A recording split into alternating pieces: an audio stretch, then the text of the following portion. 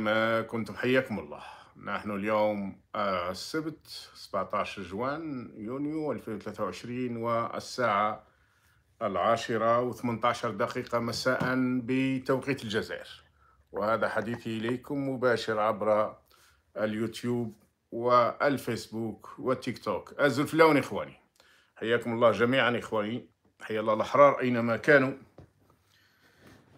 حيا الله أحرار البلاد وأحرار البشرية الذين يقفون مع المظلوم ضد الظالم ولا يترددون في ذلك وهم يعرفون أنهم يدفعون ثمنا أحيانا حتى يصل إلى ثمن الحياة إضافة إلى الشيطنة والتشويه وال آه، السب والشتم الذي يتلقوه من السفهاء أذناب وذباب العصابات. لكن هذا كله يجب أن يفهم الناس أن هذا كله جزء من المعركة. إذا لم تفهم أن أنك عندما تدخل معارك الحق والباطل معركة الانتصار للمستضعفين للمنهوبين للمفقرين للأوطان المسحوقة إذا لم تفهم أنك حينما تدخل هذه المعركة فإنك ستدفع الثمن وثمن قد يكون غاليا جدا فلا تدخلها حتى لا تندم وحتى لا تضع أو تثير القلق مع الذين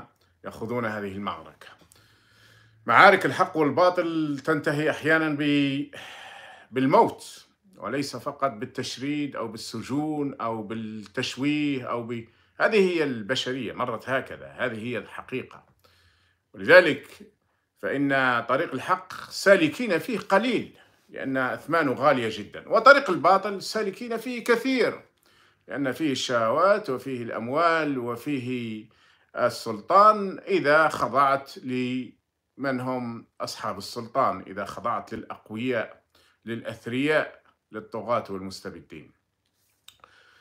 حديثي إليكم إخواني. أولا مرة أخرى أعتذر لكم. على التأخير ربما نغير التوقيت من 9:45 إلى العاشرة مع الصيف الآن لأنه لم يعد ممكنا أن أصل قبل العاشرة. في الحقيقة نتيجة لارتباطي بأشغال كثيرة جدا.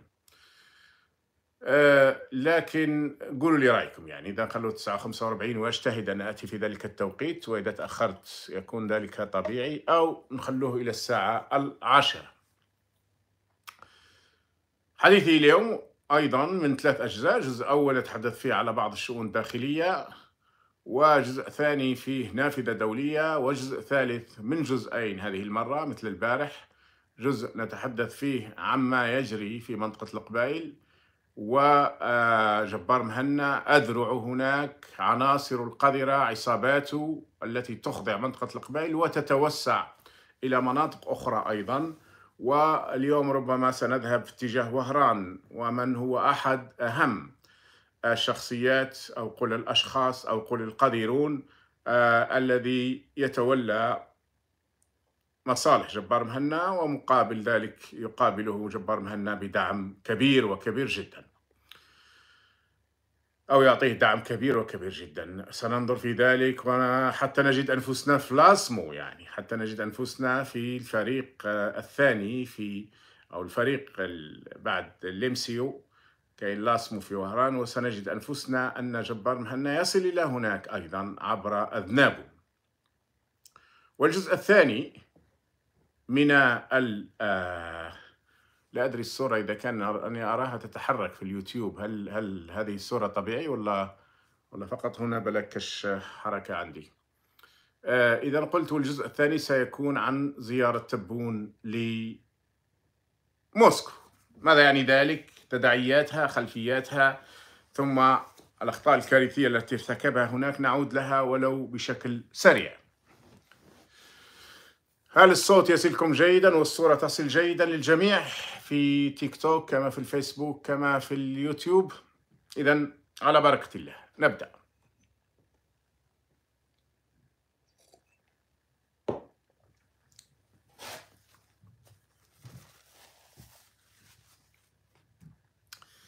بداية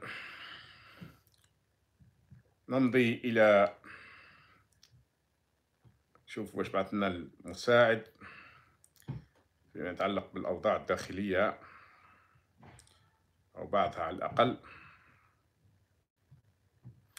نبدأ بالأحرار. نبدأ بهذه الحرة من نيويورك أمام قنصلية العصابة وهي تقف وقفة أسبوعية. أحيانا في الغالب الأحيان تكون لوحدها والحقيقة أنك أنت الجماعة ولو كنت وحدك. تحيتنا لكل شعبنا بالداخل لشعبنا بالخارج. عبر العالم تحيتنا لكل المعتقلين وأهليهم لكل متابعينا قضائيا آه، تحيتنا لكل معتقلي التسعينات ولأهليهم. اللي ما زال المآسي والآلام تسير عليهم إلى يوم الناس هذا. سلام الله عليكم جميعا. إذا في وقفتنا الأسبوعية من أمام قنصلية العصابات بنيويورك سيتي الولايات المتحدة الأمريكية.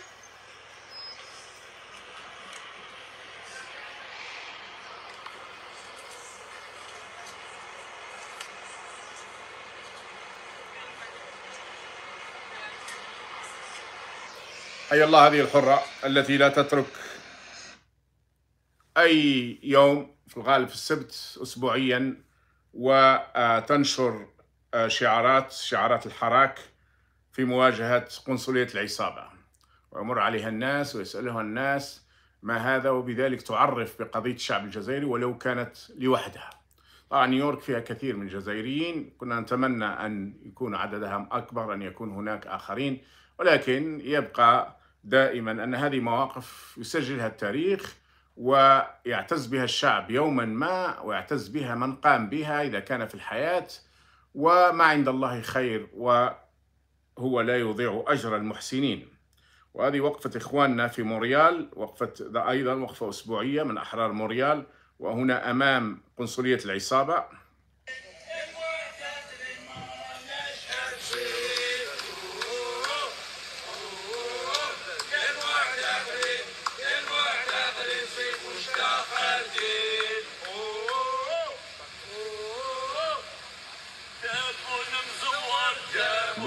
العسكر.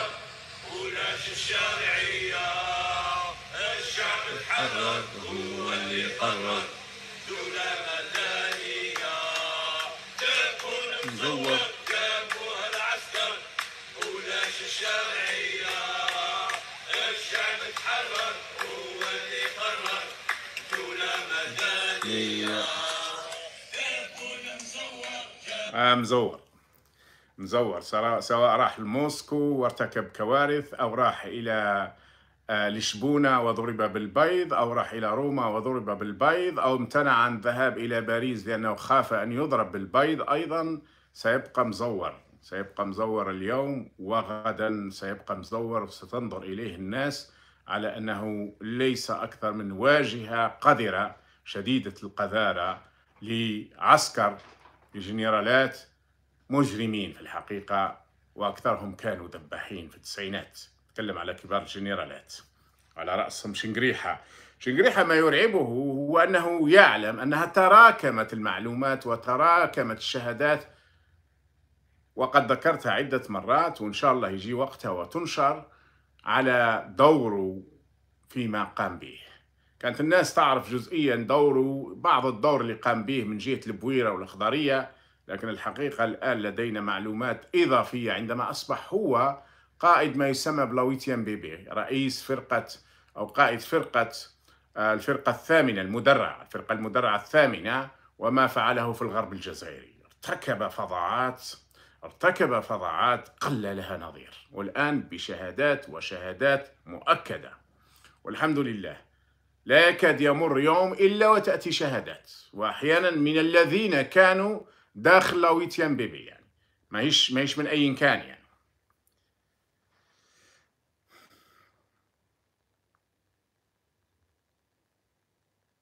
كانت فيه أيضا أعتقد أن إخواننا وقفوا أيضا في إيه نعم أمام السفاره هذه في برشلونة هذه أمام سفارة العصابة في برشلونة.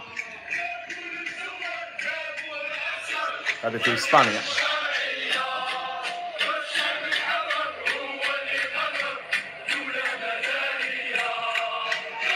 دول مزور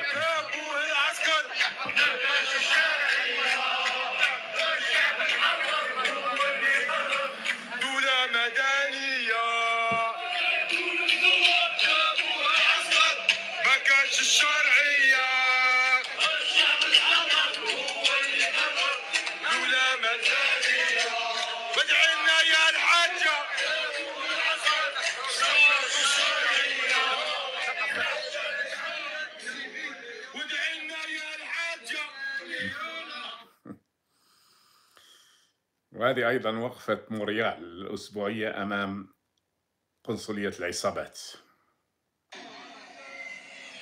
ليش ما نبيتيني أنا رجل امامي ليش ما نرى من مطلوب وليد عارف الله is activist نحن ما is activist كلامي is activist activist activist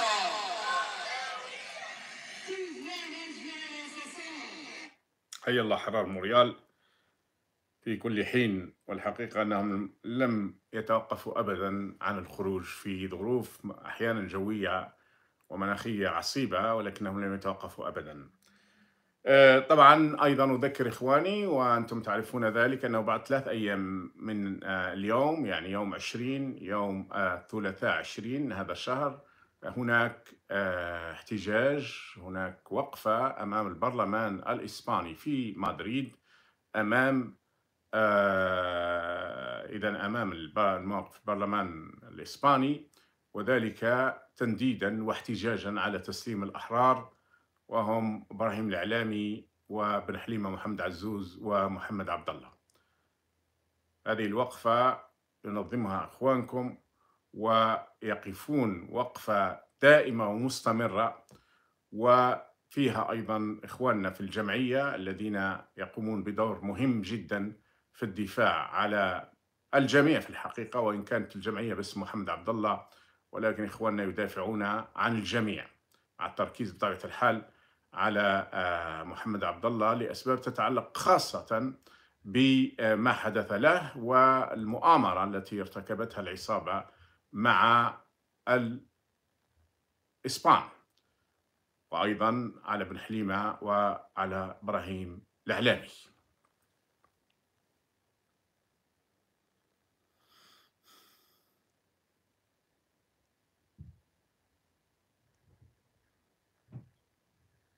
أي أحوال السوق؟ سمعنا وش يقول لك طبعا هذه الأيام شغل الشاغل لكثير من الناس هو قضية كبش العيد. فالأسعار هناك آه، جهنمية يعني. الأسعار آم، غالية وغالية جدا. خلينا نسمع بعض وش يقولوا بعض الناس. ناخذ حضرتك انت حاجة الأسعار طلعت على المواطن. العدس راه يدير 40000 اللوبيا يدير 40000 اللحظة ما تمشيش لها كل شيء كل شيء خلى هذه الأسعار طلعت السوق وكل شيء يطلع بهذا الأسباب. الشعب ما هو فاهم والو. ما كان لا فانينا لا صاله بتلار الأسعار غاليه على المواطن. كل شيء يطلع. كي يطلع العدس تطلع النعجه تطلع البقره ويطلع بنادم ويطلع الناس يكون يفهم. الشعب ما هوش فاهم. يا لازم واحد يعرف يهدر. مش غير يهدر باطل. النعجه تبغى كي هاك ت- تعطيها توكلها الفريده ولا الحمص ولا لا- ولا السميد هي الأسعار غاليه على المواطن. تقول السمو تروح للمارشي ما ت- 500 ألف ما تشري لك والو هذه هي اللي راح نطلع الصوالح الناس تكون فاهمة؟ هذه عقاضية أسعار. الدولة طلعت بالاسعار كل شيء يطلع معها. بارك الله فيك وربي يحفظك. يا 18 واه. ولدي. واه. ونقول الحمد لله. ربي يعطينا الخير والعافية إن شاء الله. الله يعطينا الهنا إن شاء الله. الله يزيد حالنا ويصلح بسيادنا وربي إن شاء الله يكون هو العوان تاعنا إن شاء الله. المال المال هنا النار. غالي النار. المال هنا أنا زوجي بوحدة.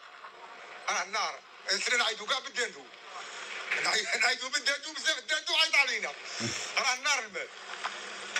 الخروج اللي كان يدير 5 ملايين يسمح في 9 ملايين اللي كان يدير 8 ملايين في 12 مليون راه يصوروا الخيرات الخيرات هم يصوروهم سنة نشرو الدندو نعيدوا به راك تشوف فينا السوق راه غالي صحيح.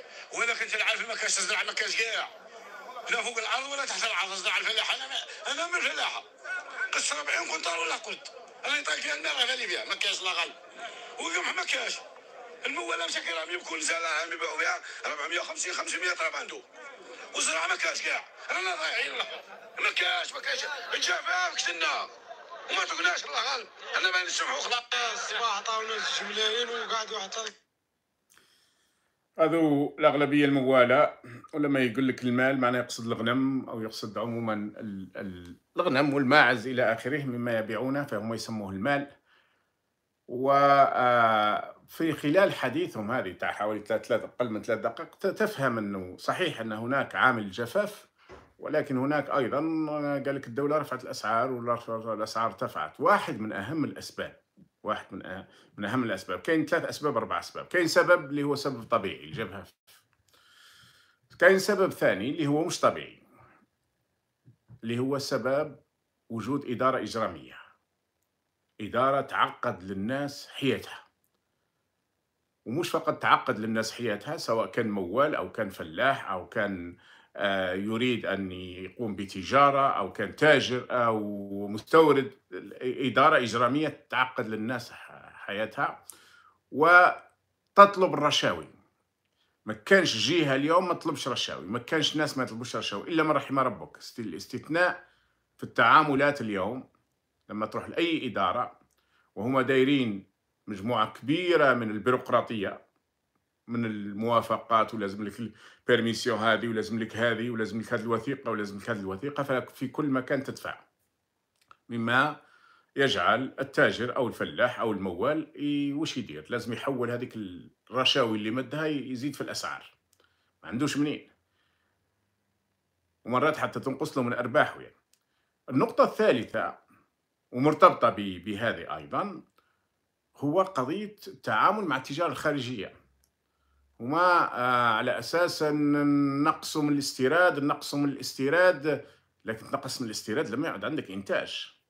لما ما يعدش عندك إنتاج وتنقص من الاستيراد فالأسعار ترتفع. طبيعة الأشياء. كاين قاعدة في الاقتصاد سيسموها la rareté crée la valeur. الندرة تخلق القيمة. أي أنه عندما تنقص الحوائج ترتفع الأسعار. هذه يعرفها طفل وهو عمره عشر سنين. كلما نقص المعروض كلما زادت الأسعار. كلما زاد المعروض كلما خففت الأسعار. نتيجة لعقلية ستالينية بدون ستالين وعقلية بومديانية بدون بومدين وعقلية نتاع رشاوي وفساد آه، غلقوا الاستيراد. خلوا الاستيراد محدود عند بعض الناس. هذوك الناس عندهم ال monopole عندهم الاحتكار. ما فيش منافسة ليه. وراه جنرال وراه وزير وراه والي وراه آه، مدير في الجمارك وراه مانيش عارف عقيد في المخابرات. خلاص هو يسيطر على المادة المعينة. آه، في الغالب يكونوا فيها أكثر من يسيطروا على مواد معينة. و- والحقيقة أن التجارة الخارجية الجزائرية الآن مسيطر عليها مجموعة أسماء. وهذه الأسماء وإن كانت أسماء مدنية ويظهر أنهم كبار تجار وكبار المستوردين لكن كلهم من الخلف وراهم مسعورين سواء مسعور عسكري أو مسعور مدني كلهم. الاحتكار يؤدي إلى قتل الاقتصاد يؤدي إلى تدمير السوق وإضعافه. هذا كله هذا كله في الحقيقة وبالتالي من بين الأسباب. خلينا نشوفوا إلى أي درجة يعني شفتوا الخروف قال لك راهي من اللي كان بربعة ولا بثمانية واللي كان ب- ب- بتسعة ولا ب 12 إلى آخره لكن واحد شوفوا إيش يقول على هذا الخروف. على الكبش.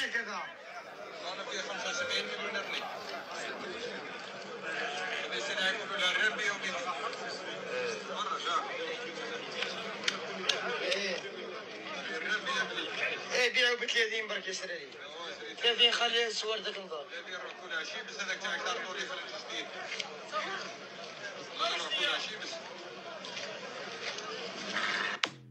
خمسة وسبعين مليون.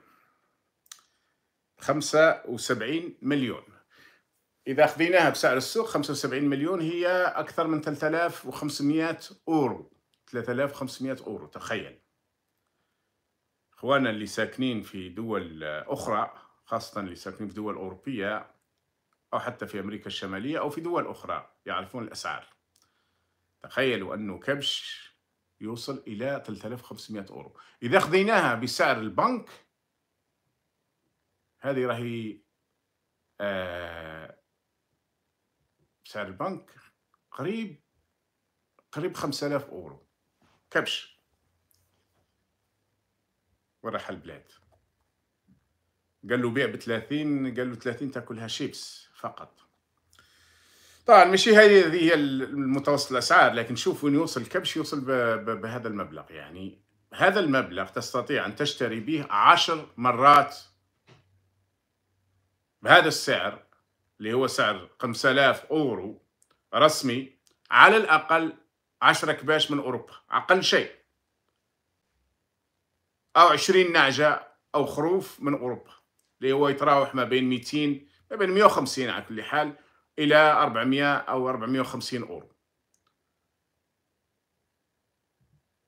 الناس اللي راهي تذبح هنا أنا مش عارف في السنوات الأخيرة لأني نبعث الذبيحة نبعثها أنها تكون في البلاد. لكن عارف أنها تدور كمعدل يعني ممكن ما تفوش 300 جنيه للكبش.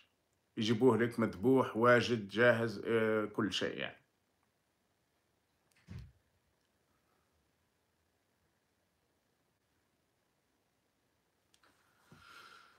آه شيء مؤلم شيء مؤلم والحقيقة شوفوا شو يقول هذا الشاب. خويا شنو بغيت نقول لك أنا jeune عندي 20 نسكن هنا في وهران وهراني ولد وهران. كانت عندي طابلة في بلاص روكس أنا صاحبي ايتيديو نقرأ L2 français نهضر quatre langues espagnol anglais français عرب كانت عندي طابلة صاحبي في بلاص روكس كنت نبيع الريحه على روحي. جاو الدولة حاوزوني. تعال على ما تعطوا له الصوالح يحوزوني لا خاطي حبس خويا mais quand même mais quand même صاحبي. دروك بنادم ما راش قادر على شي صوالح. بسر راه يدير 30 صاحبي. راك فاهمني؟ دروك تقدر تروح تشري الأم تاعك الأب تاعك ما يقدرش يشري ما يقدرش يوظف لك كاع الحياة تاعك. دروك أنا انسان عندي 20 صاحبي normalement راني عايش bien. أنا étudiant صاحبي غادي نعطيك حاجة لابوس إنسان بطال يعطوه 12 par mois أنا أنا étudiant أنا étudiant يعطوني في ال trois mois 400 mille. مازال ما خلصتهاش في trois trimestres مازال ما خلصتهمش صاحبي. trois trimestres مازال ما خلصتهمش. كي ندير دروك أنا هذه بلادي normalement نعيش أنا يا صاحبي. mais quand même خويا ما عنديش أنا هنا ما عنديش aucun futur صاحبي. quatre langues عندي عندي عندي حد فاتح كريبيس نخدم بحر. mais quand même خويا ما كاش. ما كاش كيش تعيد دير باش تعيش صاحبي. ما كاش. ما قديناش حبيبي. ما قديناش حبيبي. رانا في بلادنا وما عندناش خويا. ما عندناش كيش نعيشو ما عندناش كيش نافيغو صاحبي. كلشي نشبوه لنا. دروك حنا دروك كي نديرو؟ كي دير دروك تبغي تحرك صاحبي ما كان والو تما في لوروب أنا عندي خويا راه في رامس راه قعد ساكم باش خدم كواطه دروك راه في دو زون جا هنايا هو في نوفمبر عاود طلع راه في دو زون مازال ما خدمش تما. تما دروك أنا ما بقاش نطلع. باسكو على بالي بلي ما راه كاين والو. راك فاهمني؟ تما أنا بسي بعدين في بلادي. عندي أنا بون عندي غير شي بنية تاعي مريضة بكونسير الله يشفيها فيها خوتي بس خويا أنا كإنسان ماذا بيا لو كان نعيش bien هنايا. نعيش bien أنا كان عندي قدام les parents تاوعي قدام خوتي. بصح ما كان هذوك هذوك تاع باش تعيش ما كانش ما كانش صاحبي ما كانش. دروك أنا étudiant أنا صاحبي راني نقرا راني نقرا راني نقرا.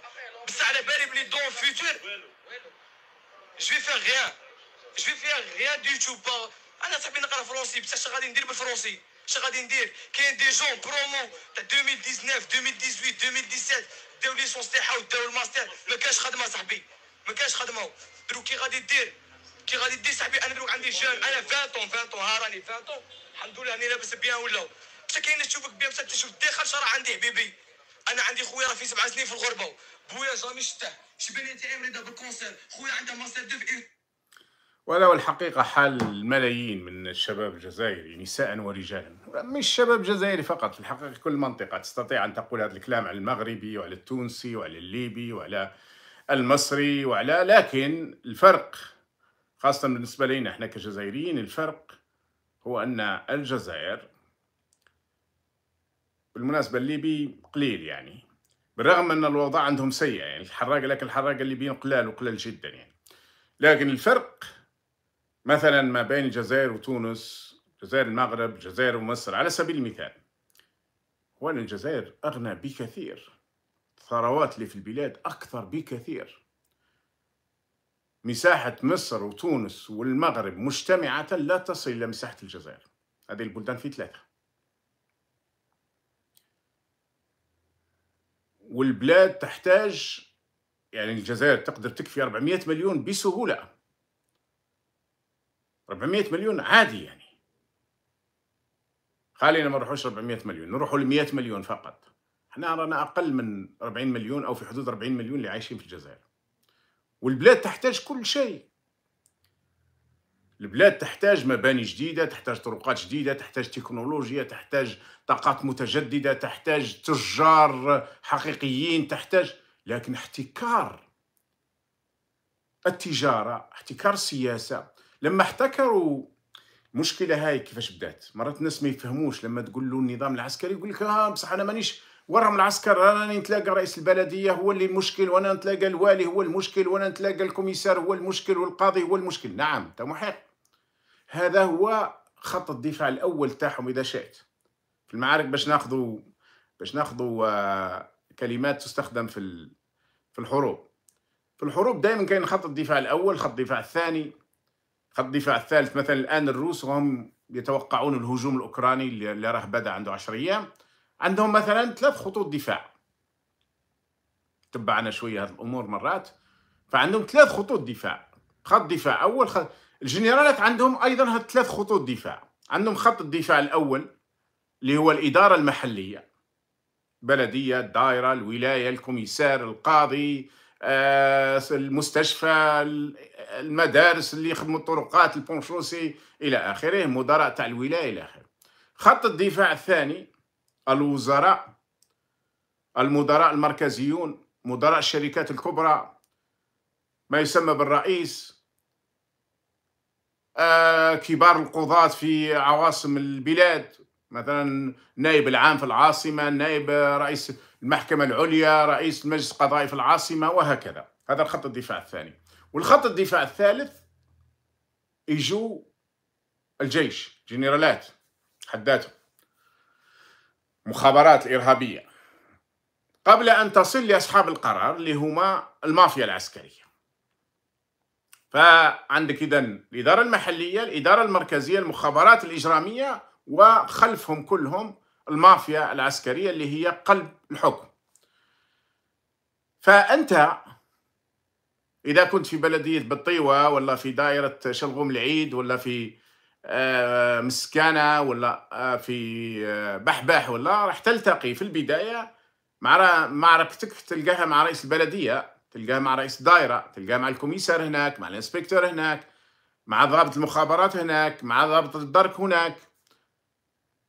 فتلقى نفسك فأنت تقول باللي أنا مع هذو مدنيين هذول إذا استثنيت منهم الضابط يعني. أو الكوميسار. إيه لكن هاد المدنيين ما همش مو جايين بالطريقة التي كان يجب أن يأتوا بها خاصة اللي يسماو المنتخبين.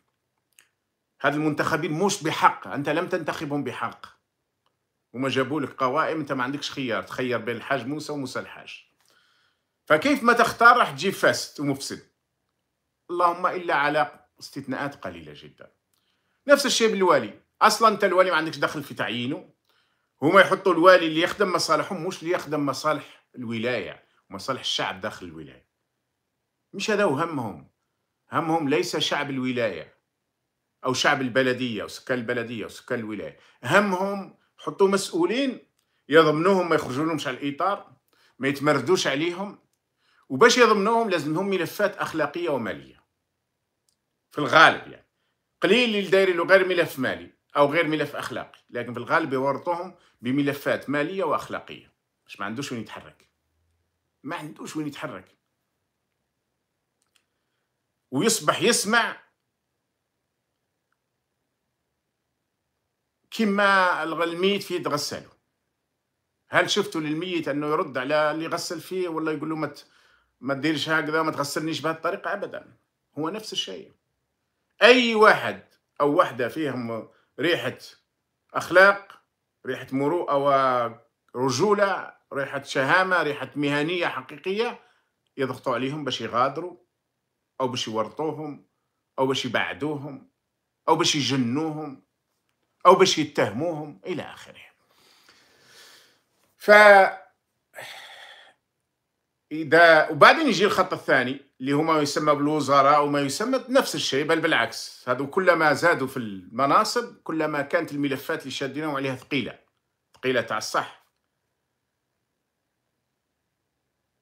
وعندما يجب أيضا أن يحركوا يحركوا المخابرات الإرهابية اللي تقوم بأعمال معينة باش تبقى المافيا العسكرية من الخلف. وطبعا كل هذه الدفاعات الثلاثة يتلقوا مقابل ذلك.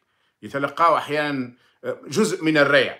وكي نقول هذا ال هذا الدفاعات الثلاثه أنا ذكرتها باختصار. راه فيها أيضا ما يسمى بالإعلام ما يسمى بالمجتمع المدني القنوات الجرائد آه، الزواو الزوي المداخلة. راه فيها اصناف وأطناف معين آه، كثيرة. ولذلك أنت تقول يا طيب هذا هو الشعب الجزائري؟ ما لا لا. هذا هو الظاهر من الشعب الجزائري. هذا هو المزيف. هذا هو الزبد. لما يجي الواد تشوفوا رافد آه، جايب الحطب وجايب البلاستيك وجايب الخيش وجايب جايب كل الأشياء التافهة والقذرة وتعلو الفوق أما تحته فقد تكون هناك أشياء درر يعني سواء في الواد أو في البحر أو. هذا الظاهر اللي هم حطوه لك حطوا لك مجتمع مزيف. نقابيين مزيفين مجتمع مدني مزيف صحفيين مزيفين. كي نقول مزيفين بمعنى أنهم في خدمتهم. صحفي اللي هو صحفي مزيف هو الذي يصبح بوق للسلطة القائمة وليس صوت للحق والحقيقة.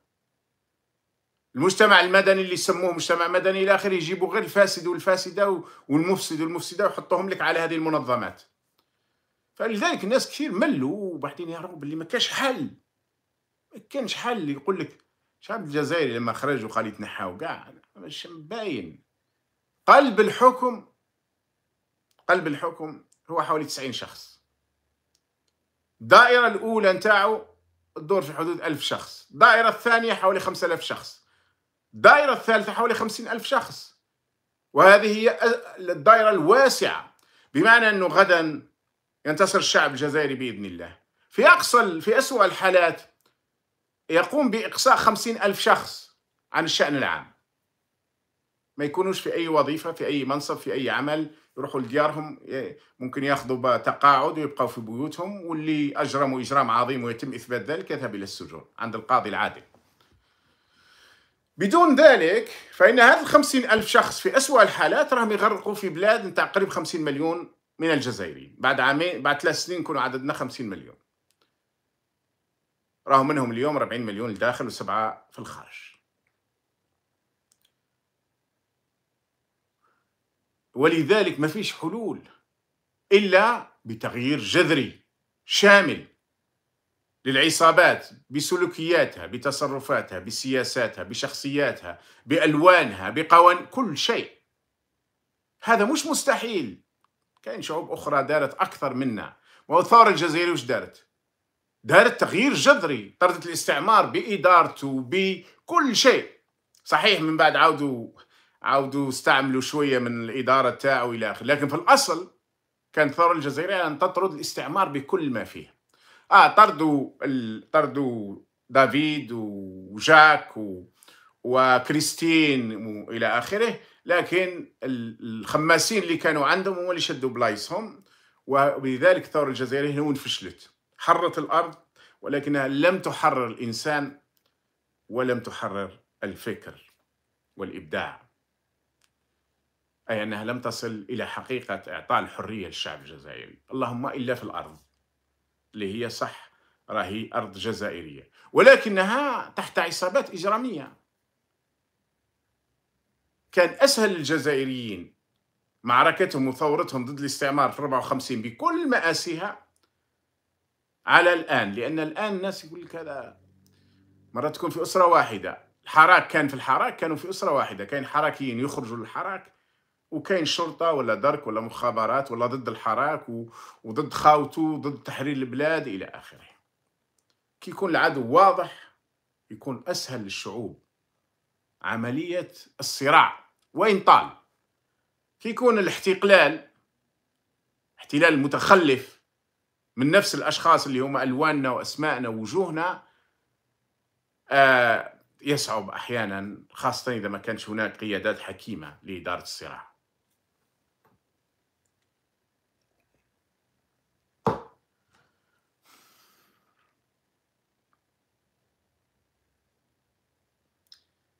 إذا سمحتوا لي أن نروح للنافذة الدولية وسنعود إلى في الجزء الثالث إلى الحديث عن الجزء الثالث كما قلت من جزئين. جزء سنعود به إلى ما يحدث من إجرام في منطقة القبائل وفي تيزي وزو بالذات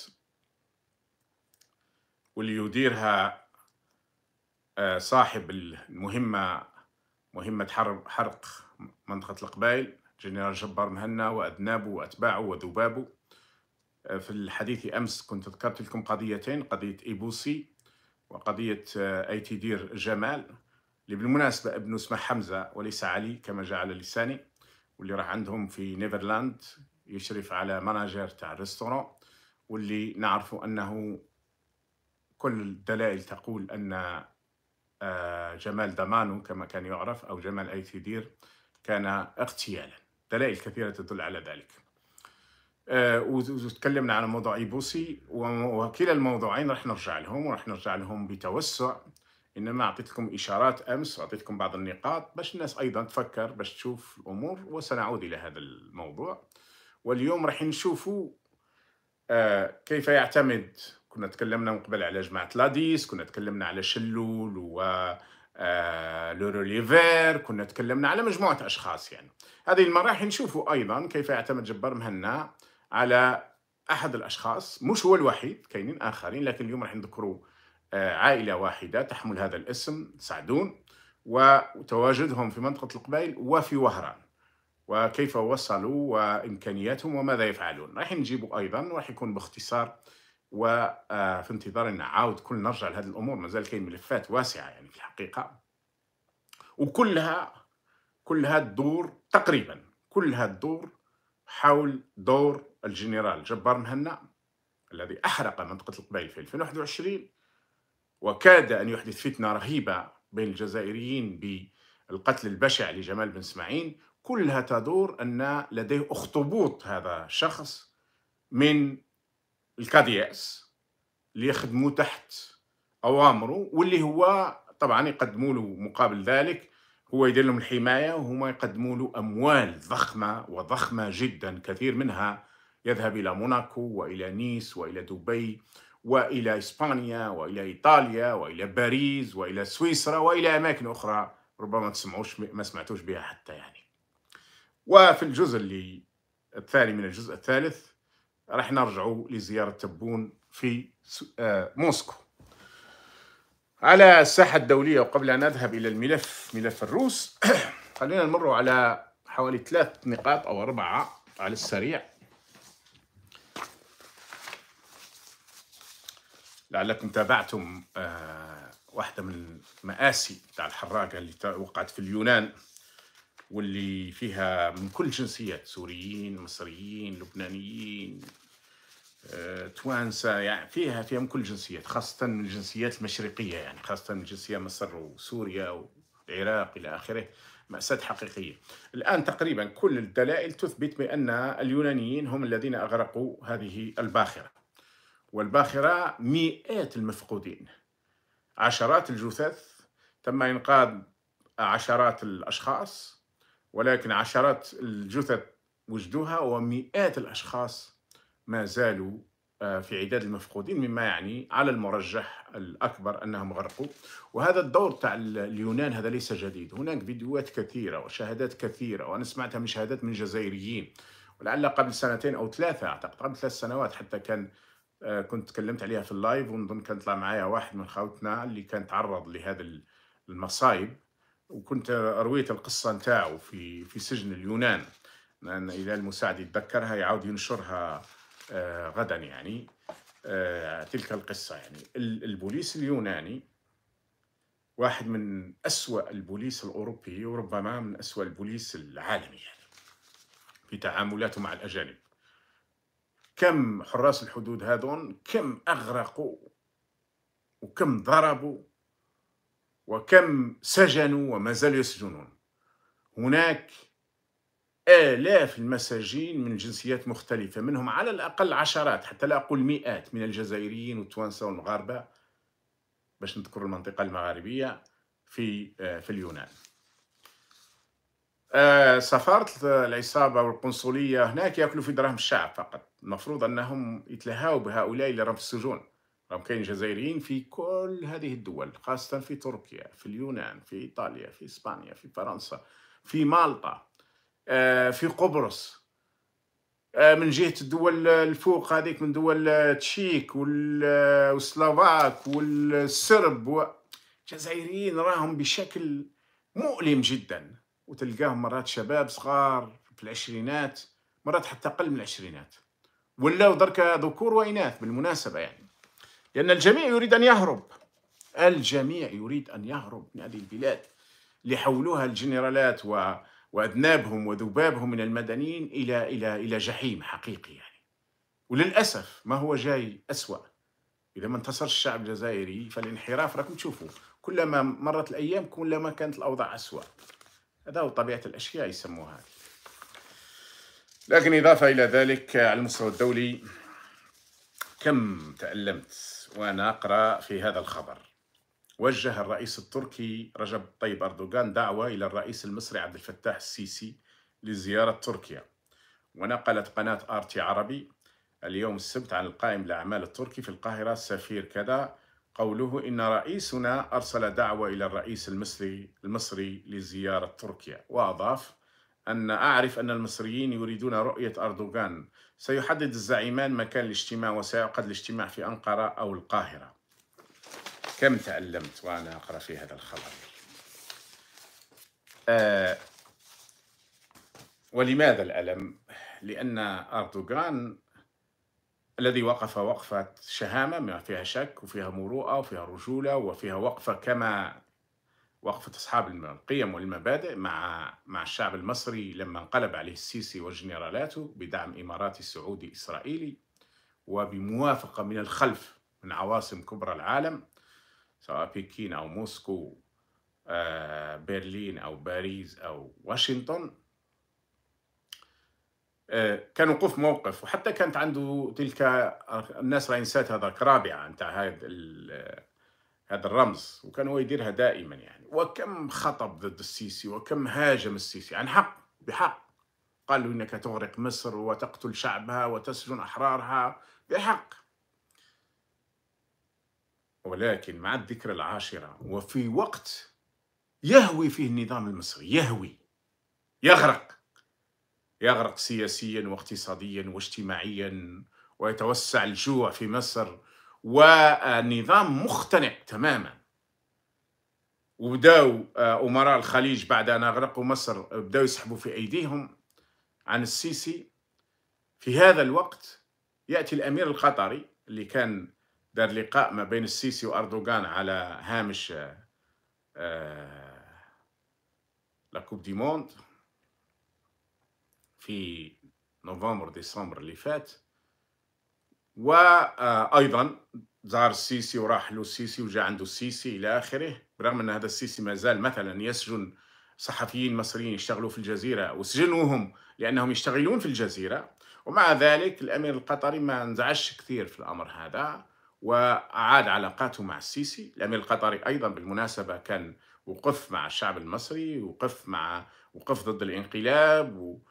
وكانوا دفعوا الثمن مقابل ذلك لأن السيسي وقف بعد مع الإمارات والسعودية لحصار قطر وكان المفروض أن الجيش المصري هو الذي يغزو قطر لولا ما جاء الأتراك بدعم أمريكي وأوقفوا ذلك دعم الإستابليشمنت يومها في 2017 فاللي مزعج جدا أن هذا الاثنين الأمير القطري والرئيس التركي يصبحوا علاقاتهم وكأنها طبيعية جدا مع السيسي. في وقت يسحب فيه اللي جابوه وداروه صبي عندهم وداروه مرتزق عندهم وهما أمراء السعودية وأمراء الإمارات يسحبوا يديهم من عند على السيسي.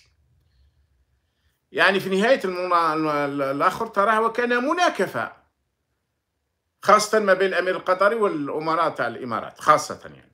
وكان مناكفة يعني. أنت كنت معاه أنا كنت ضده وأنت راك ضده الآن أنا نولي معاه. وليست قيم ومبادئ ومواقف يجب الإنسان أن يقفها. وخاصة الرئيس التركي الآن نحن نعيش هذه الأيام الذكرى العاشرة.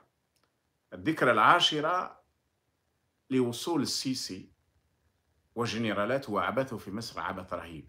وعندما وصلوا عندما استطاع آه، رئيس الإمارات وملك الأمير الإمارات وملك السعودية وأمراءه بالإطاحة بثورة الشعب المصري أطاحوا فيما بعد بكل ما يعرف وما يسمى بالربيع العربي. أطاحوا به في كل مكان. سواء في ليبيا أو في اليمن أو في بعد في تونس وحتى في سوريا إلى آخره. كل دفع لأنهم عرفوا أن في مصر إذا شئنا هي الموتور هي المحرك يعني. الأسوأ من ذلك لماذا شعرت بأسى كبير؟ هو أن اليوم بالذات 17 يونيو هو الذكرى الرابعة لموت ذلك الرجل الطيب الرئيس الطيب الرئيس حقيقة اللي عنده قيم ومبادئ وربما كان طيبا أكثر مما يجب وهو محمد مرسي رحمه الله. اللي انتخبوا الشعب المصري وصل بحق بالانتخابات. بغض النظر عن كل ما يقال لكن في نهاية المطاف وصل بانتخابات. وبعد سنة واحدة انقلبوا عليه وقال لك راهو ما دارش وراه غرق مصر وراه هاي مصر اللي تغرق الآن تعرفوا قيمة الغرق حقيقي في أيام السيسي. واللي وصلته أموال كالرز كما هو كان يقول. أكثر من 160 مليار دولار ومرات كان يقولوا أكثر من 200 مليار دولار من عند الخليجيين. طبعا الخليجيين هذه ماهيش باطل يعني. كلها داوها أراضي وداوها شركات وداوها مقابل من مصر. مصر تباعت يعني. آه، أموال ضخمة جدا وشوف الشعب المصري وراه الآن. وقبل السيسي 10 سنين كان حكم عسكري من أيام عبد الناصر من 52 لل 2011 60 سنة تقريبا. يعني كانوا يحبوا يقنعونا أن اللي جاء في عام لازم يغير كل شيء ويصلح كل شيء. بينما عندنا اليوم أذناب وذباب آه، العسكر عندنا وتبون يقول لك آه ما زال وهذه العهدة الأولى فقط ويحتاج عهدة ثانية. طيب ما كنتم أنتم ذباب هذا نفس الذباب سواء كان جزائري أو مصري أو سعودي أو كانوا يقولوا باللي الإخوان وغرقوا مصر وغرقوا السيسي وغرق مصر. عام ما كملوش عام. بكل المشاكل اللي خلقوها له بكل الاضطرابات اللي داروها له. والتآمر اللي كانت تشرف عليه إسرائيل ومع هذا هذا المجرمين الكبار. لكن هذا هو المؤلم أنه في النهاية بالنسبة لأردوغان business as usual كما يقال يعني ما كاش مشكل واختاروا عن جهل أو عن قصد الذكرى الرابعة لموت مرسي باش يوجهوا دعوة للسيسي المجرم الذي قتل الناس علنا أمام العالم في وضح النهار. ما دارهاش حتى في الليل دارها في النهار. في رابعة وفي ساحات أخرى في مصر. ولا زال عشرات الآلاف من أحرار مصر في سجون العفنة. ولا يكاد يمر يوم وما يموتش واحد منهم من التعذيب أو من نقص الأدوية أو من الخنق أو من وكثيرين منهم أصيبوا في عقولهم نتيجة لجحيم يعيشونه داخل هذه السجون. هذه ليست سياسة. هذه ليست سياسة. هذه ليست حكمة. هذه ليست أخلاق. فأقل شيء كان يمكن للأمير القطري ولحاكم تركيا أنهم إذا إذا شافوا أنه خلاص السيسي هذا باقي إلى آخره أوكي فليبقى هناك وأنت تبقى هناك. لم تستطيع أن تغير وتساعد الشعب المصري لا تصبح تدعموا وتناصروا وتعطي له المال القطري وتفتح له في تركيا مجالات لأنه ضد الشعب المصري. ولأنه ضد الحقيقة ولأنه ضد الإنسان. هذا ليست من شيم الرجال.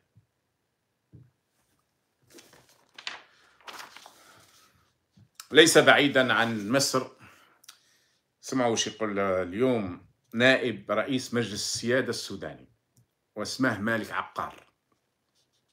يعني النائب نتاع البرهان الجنرال الأول في آه، في السودان.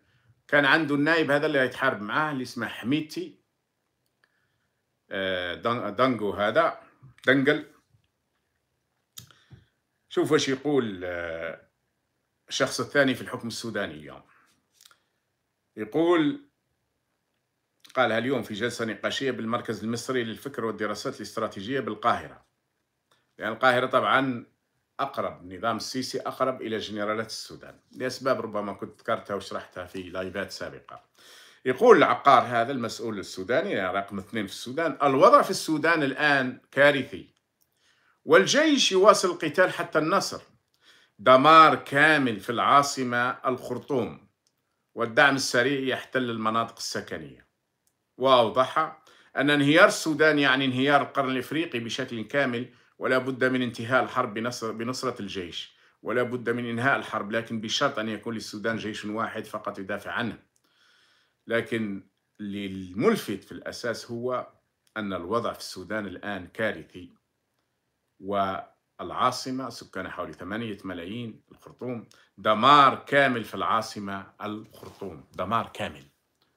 حرب الجنرالات دمار كامل. دمار كامل.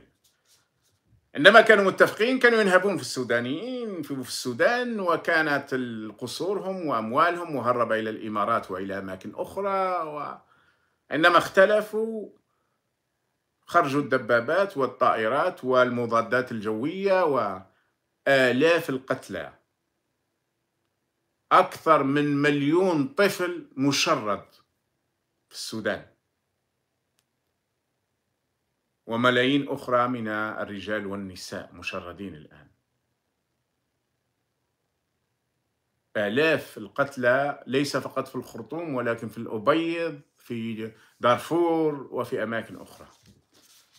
وأمس كانت جماعة حميتي على ما يعتقد على نطاق واسع قتلت أحد ولاة المنطقة في دارفور. لأنه قبلها بدقائق كان يتكلم في برنامج إخباري وانتقدهم برنامج مع إحدى القنوات. ف حكم الطغيان هذا وين يوصل على كل حال. وأيضا في دائما في هذه الأخبار لعلكم تتابعوا اليوم قبل أن نذهب للملف الروسي في آه، موضوع العلاقات الإيرانية السعودية. والوزير السعودي اليوم وزير الخارجية في إيران وحديث كبير على عودة العلاقات وإلى آخره. طبعا هذا الموضوع منذ عنده منذ 100 يوم منذ أن تدخل الصين كوسطاء بين إيران تسمى الجمهورية جمهورية إيران الإسلامية والأخرى تسمى المملكة العربية السعودية وملكها يسمى خادم الحرمين. والحقيقة أن كي خادم الحرمين كي قادة ما يسمى بجمهورية إيران الإسلامية إنهم وجهين لعملة واحدة. أنا أعرف أن هذا الكلام مز يجمع علي الطرفين يعني. لكن هو وجهين لعملة واحدة. وجهين لعملة واحدة. فكلاهما يقمع. ناس كثير من المرات يتحدثوا على آه، إيران هذه اللي تزعم أنها إسلامية وكيف تحتل أربع عواصم عربية وتحتل أربع دول يعني اللي هي العراق خلت فيها والو مع الولايات المتحدة بطبيعة الحال شراكة سوريا ما خلت فيها والو مع روسيا بطبيعة الحال. يعني مرات تكون شريكة مع أمريكا في تدمير العراق وفي سوريا شريكة مع الروس في تدمير سوريا وفي لبنان مسيطرين على البلاد وفي لبنان في حالة إفلاس شاملة وكاملة. واليمن فقد عادت إلى ما قبل التاريخ. أربع عواصم. لكن اللي متضررين أكثر حتى من هذه البلدان وشعوبها هو الشعب الإيراني في حد ذاته. الشعب الإيراني تحكمه طغمة عسكرية دينية. استخدموا الدين استخداما خاطئا تماما. وباسمه يضعون الشعب الإيراني تحت أرجلهم وتفقير شديد وتخويف وسجون وتعذيب رهيب. أما ما يسمى بخادم الحرمين فإن هناك آلاف من السعوديين في السجون مئات منهم اغتصبوا في سجون خادم الحرمين رجالا ونساء وتعذيب وقهر لما يقارب من 30 مليون سعودي اللهم إلا مليونين أو ثلاثة ماشيين معاهم مثل دائما في كل مكان. وطبعا تدميرهم لليمن آه، ما عندوش حدود. هو والإمارات اشتركت السعودية مع الإمارات في تدمير اليمن.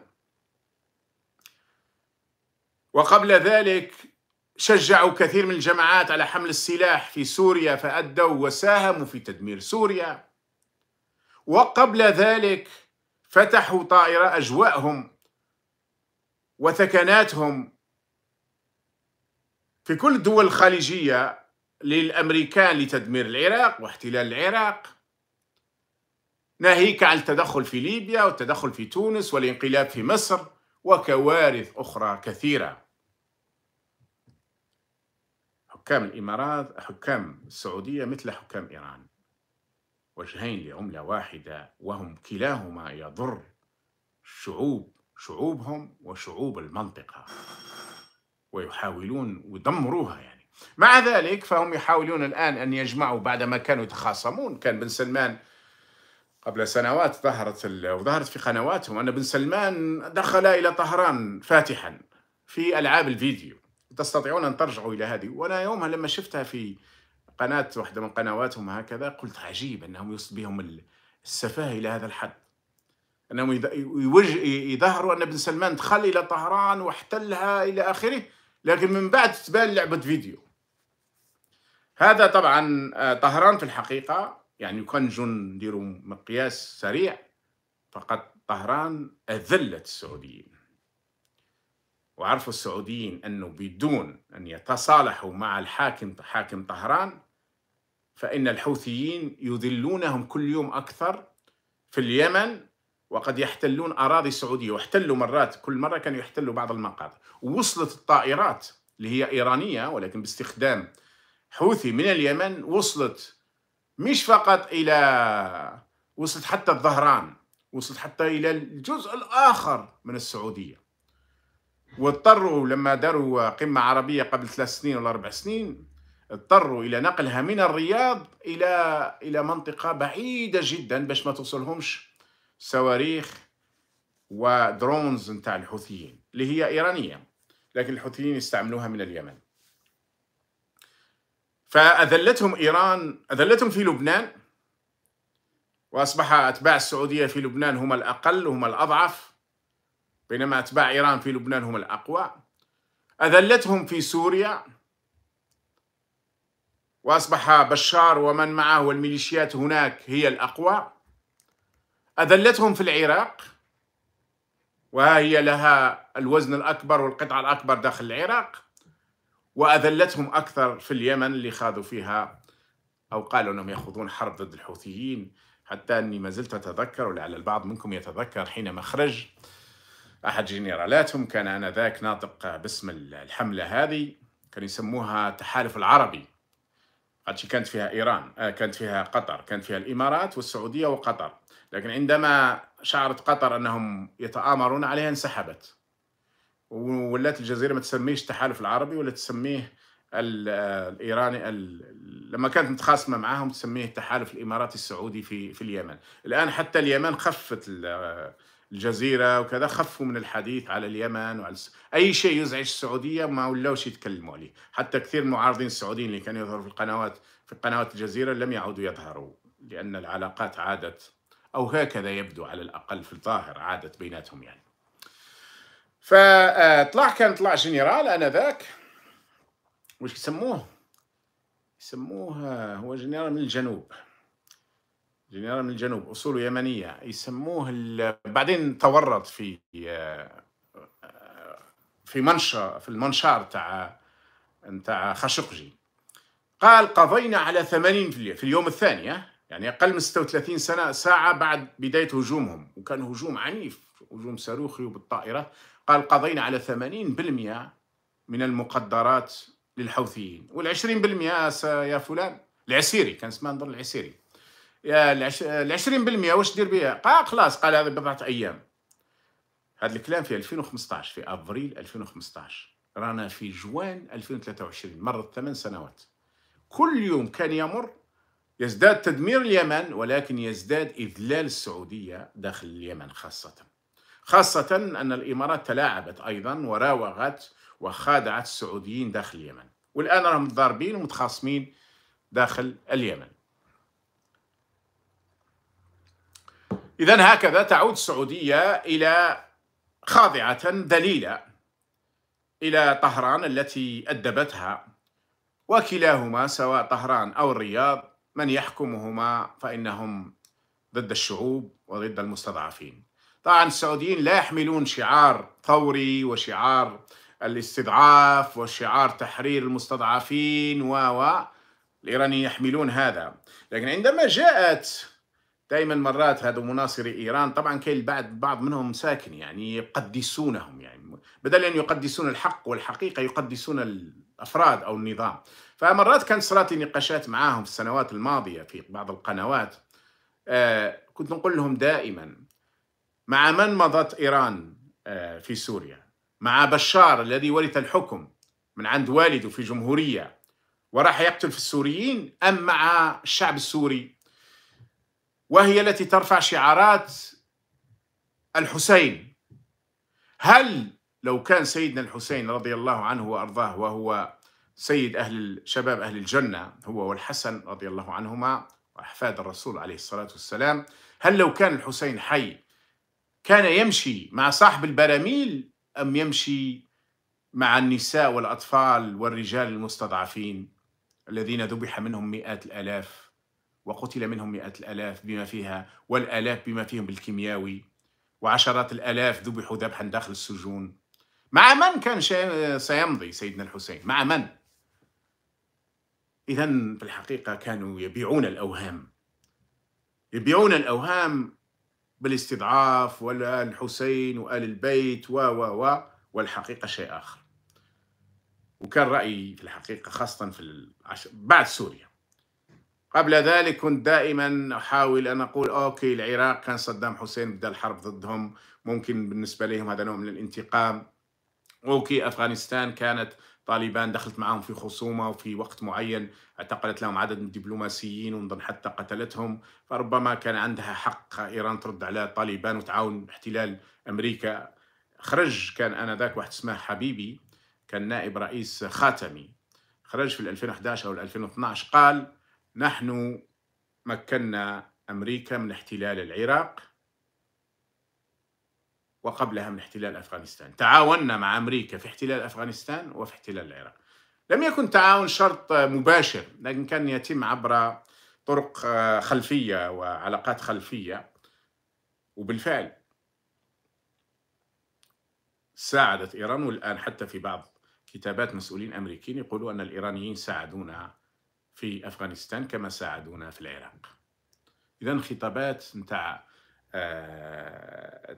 نتاع آل البيت والتضحية والحسين كلها ليست صحيحة.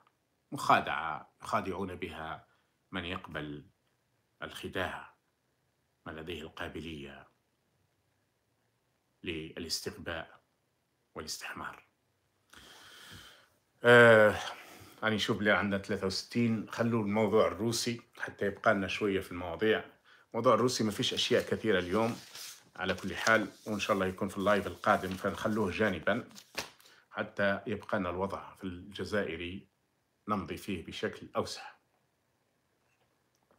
راح نبدأ بالجزء اللي قلت الجزء الثالث يقسم إلى جزئين جزء يتعلق بجرائم آه، جبار مهنا والمستمرة في منطقة القبائل أساسا وفي خصوصا ولكن أيضا في أماكن أخرى. اليوم راح يكون حديثنا على خلينا نشوف بعض الصور.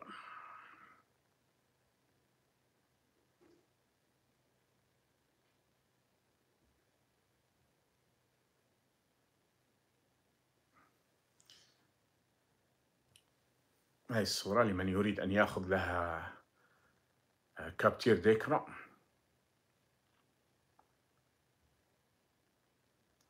في هذه الصورة أكلي سعدون دي أكلي تبشارين تبشارين تبشارين هذا هو الفيلاج تاعو الدشرة تاعو اسمها تبشارين فهو من منطقة تبشارين فكان يسموه أكلي تبشارين وهو اسمه الحقيقي أكلي سعدون. يبدو هنا شخص في نهاية الستينات من العمر. ربما 65 سنة 68 سنة إلى آخره. أه وين هذه الصورة؟ هذه hôtel restaurant Parc des Princes. أه هاو Parc des Princes. أهل تيزوزو كلهم يعرفوه. أهل المنطقة عموما كلهم يعرفوه. هذا هو ال Parc des Princes. مبنى فخم وضخم. من أملاك أكلي سعدون. هو وأبنائه لكن مش هذاك فقط. عندهم شركات نتاع télécommunications. هاي سعدون Télécom. وها هنا حاطين رقم تليفون تاعهم وفي الموقع تاعهم العنوان رقم تليفون إلى آخره واسمها سعدون Télécom. هذا واحد من أولاده. هنا بالاسم نتاع موموح سعدون والحقيقة هو اسمه محمد سعدون وينادوا له موموح. هذا هو ال président تاع l'ASMO. l'ASMO Association Sportive Musulmane d'Oran وكي كانت هكذا. كان اسمها زمان l'ASMO هذه اسمها لاسوسياسيون جمعية شباب اسمو الجمعية الرياضية الإسلامية لوهران تقريبا بهذه الترجمة. هذه علاش لاسمو لأن لاسمو نشأت في 1933 كما الامسيا مثلا كما الامسيو كما جيسكا كما في في كثيرين منهم جاوا في وقت الاستعمار يعني. كثيرين منهم هذه الفرق. ف l'ASMO كان اسمه الحقيقي هو l'Association Sportive Musulmane d'Oran لكن في ال 77 تفتق ذهن الذين مع أبو مدين آنذاك قال لك خلينا من هذه الاسماوات ف l'ASMO ما ولاش اسمها l'ASMO آه بقات اسمها l'ASMO ولكن كلمة musulmane نحاوها واش داروها؟ داروها كيمياوي نظن حاجة هكذا. l'Association Sportive لكيمياء حاجة هكذا كيمياء وهران آه l'MCA سموها l'MPA مولوديه pétroliers d'Alger. l'MCO تاع وهران سموها l'MPO مولوديه pétroliers d'Oran. JSK سموها سموها JET Jeunesse électronique de تيزي وزو. الناس ما كانتش أنا نتذكر أنا ذاك الوقت عمري كم في هذاك الوقت؟ 14 سنة يعني كنت نتبع شوية football و ككل الشباب الجزائري ككل طفل بدأ في شبابه يعني. فطبعا لما بدلوا هذه الأسماوات ولينا ما نقدروش نعرفوا هذه الفرق اللي كنا نتبعوهم وكنا نشوفوهم. بصح باش يوري لك ما غيروا أسماء كثيرة جدا هكذا جاتهم في بالهم ان لازم يغيروها.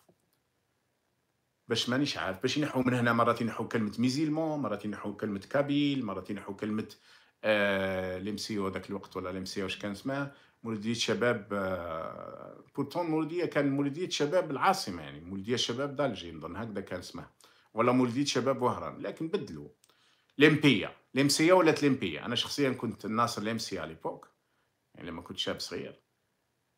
ولاو يسموها أنا ليمبيا. يقول لي يبدلوا لك اسمك ولا يبدلوا لك اسم حاجة تحبها ولا. ما عندكش علاقة بها تولي. يعني ينقطع هذيك العلاقة اللي يكسروا هذاك الرابط يعني. تلاعبات سياسية في حتى في تسمية الفرق. المهم لاسمو اليوم للأسف راهو فريق متعثر في كثير من الحالات بالرغم إنه كان واحد الوقت يلعبوا مليح يعني. يراس هذا مموح أو محمد سعدون ويعرف باسم مموح لكن في وهران ما عندهمش هذا فقط. عندهم حاجة هكذا يسموها لا فيي مارميت لا فيي مارميت عزكم الله مكان سامحوني على العبارة لكن هذا هو لازم نستعرف الوصف. هو كباري كباري وهذه لافياي مارميت جابوها كانت موجودة في الحقيقة في في آه، في تيزي وزو ثاني كان عندهم حاجة اسمها لا فياي مارميت بصح درك نحكوا عليها واحد القصة يعني علاش علاش غلقوا من تيزي وزو واتجهوا للوهران آه هذه هذا واحد من الفنادق نتاعهم أيضا.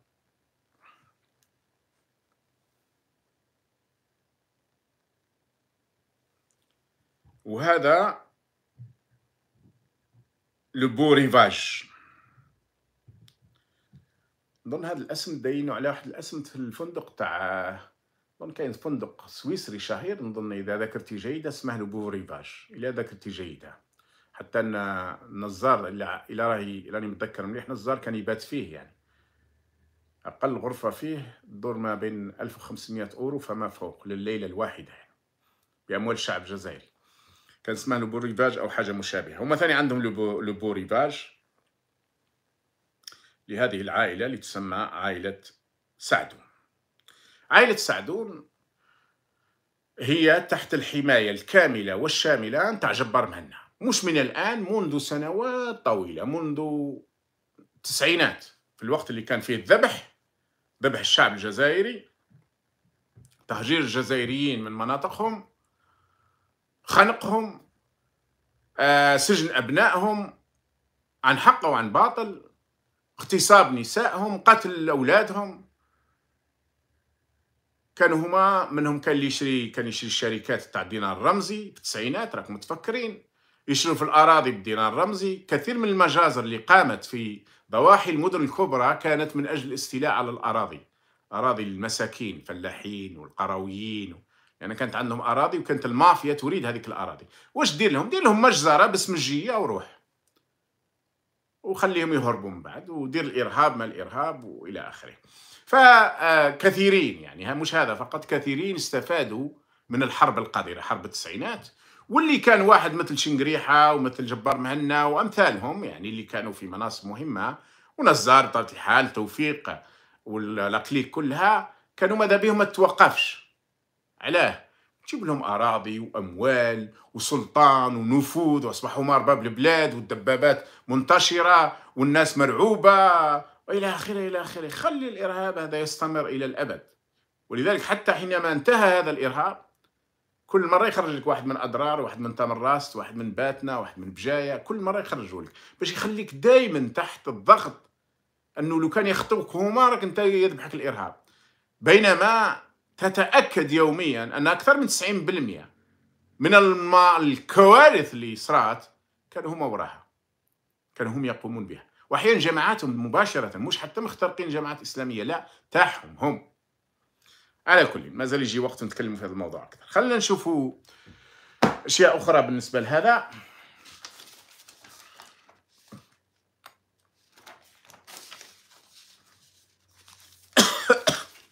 اذا entreprise de télécommunications في تيزي وزو واحدة أخرى أيضا و des cabarets et des investissements à Oran كباريات عزكم الله واستثمارات في وهران وفي في تيزي وزو في تيزي وزو اوتيل كما قلنا Parc des Princes واضافه les boîtes de nuit les boîtes de nuit أيضا في وهران وفي تيزي وزو وفي اماكن أخرى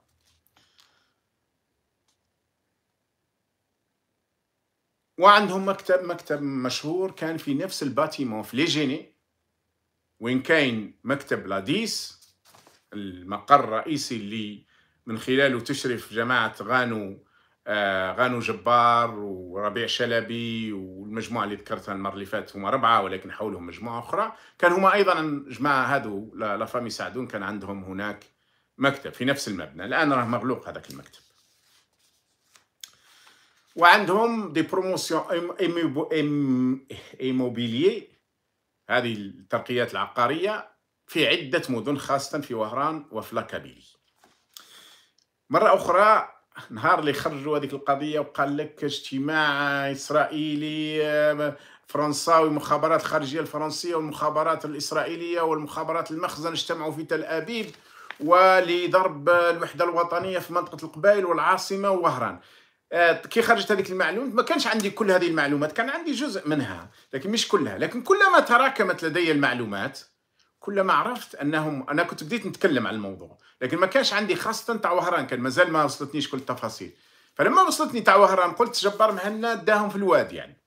راح رعب الجنرالات وكذا باللي راه عندنا والصهاينة راهم آه، جمعوا المخابرات المغربية والفرنسية باش يديروا مؤامرة وجابتها الشروق وجابتها الخبر كبيره ومن بعد جابتها لوسوار والوطن ومانيش عارف. وهي في الحقيقة فقط لأنه شعار بالرعب لما دخلت له للملفات الداخلية وشفت فيها. جزء صراحة باش نقول لكم جزء جاء من عند الأحرار وجزء أساسي جاء من عندهم. يعني برك باش تكون ف لأن خصوماتهم كبيرة ونضرب بيناتهم نضرب بيناتهم كبيرة و... وأنا ما عنديش مشكل لما نتأكد من المعلومة نقولها يعني. ويبقى دائما أني نقول ونعاود اللي عنده رأي آخر اللي عنده حتى من هذول اللي نذكرهم بالأسماء يتفضلوا يكتبوا لي أو ينشروا ينشروا يقولوا لي أنا هاو رأينا أنا ضدك انشر عندك. وأنا سأنشر. احتراما للرأي الآخر يعني. حتى لو كنت متأكد 100% أنهم يكذبون. لكن ننشر وجهة نظرهم يعني. راح ننشرها يعني. حتى هاد لافام يساعدون ومن معهم وكل الأسماء اللي ذكرتها نعاود نكرر.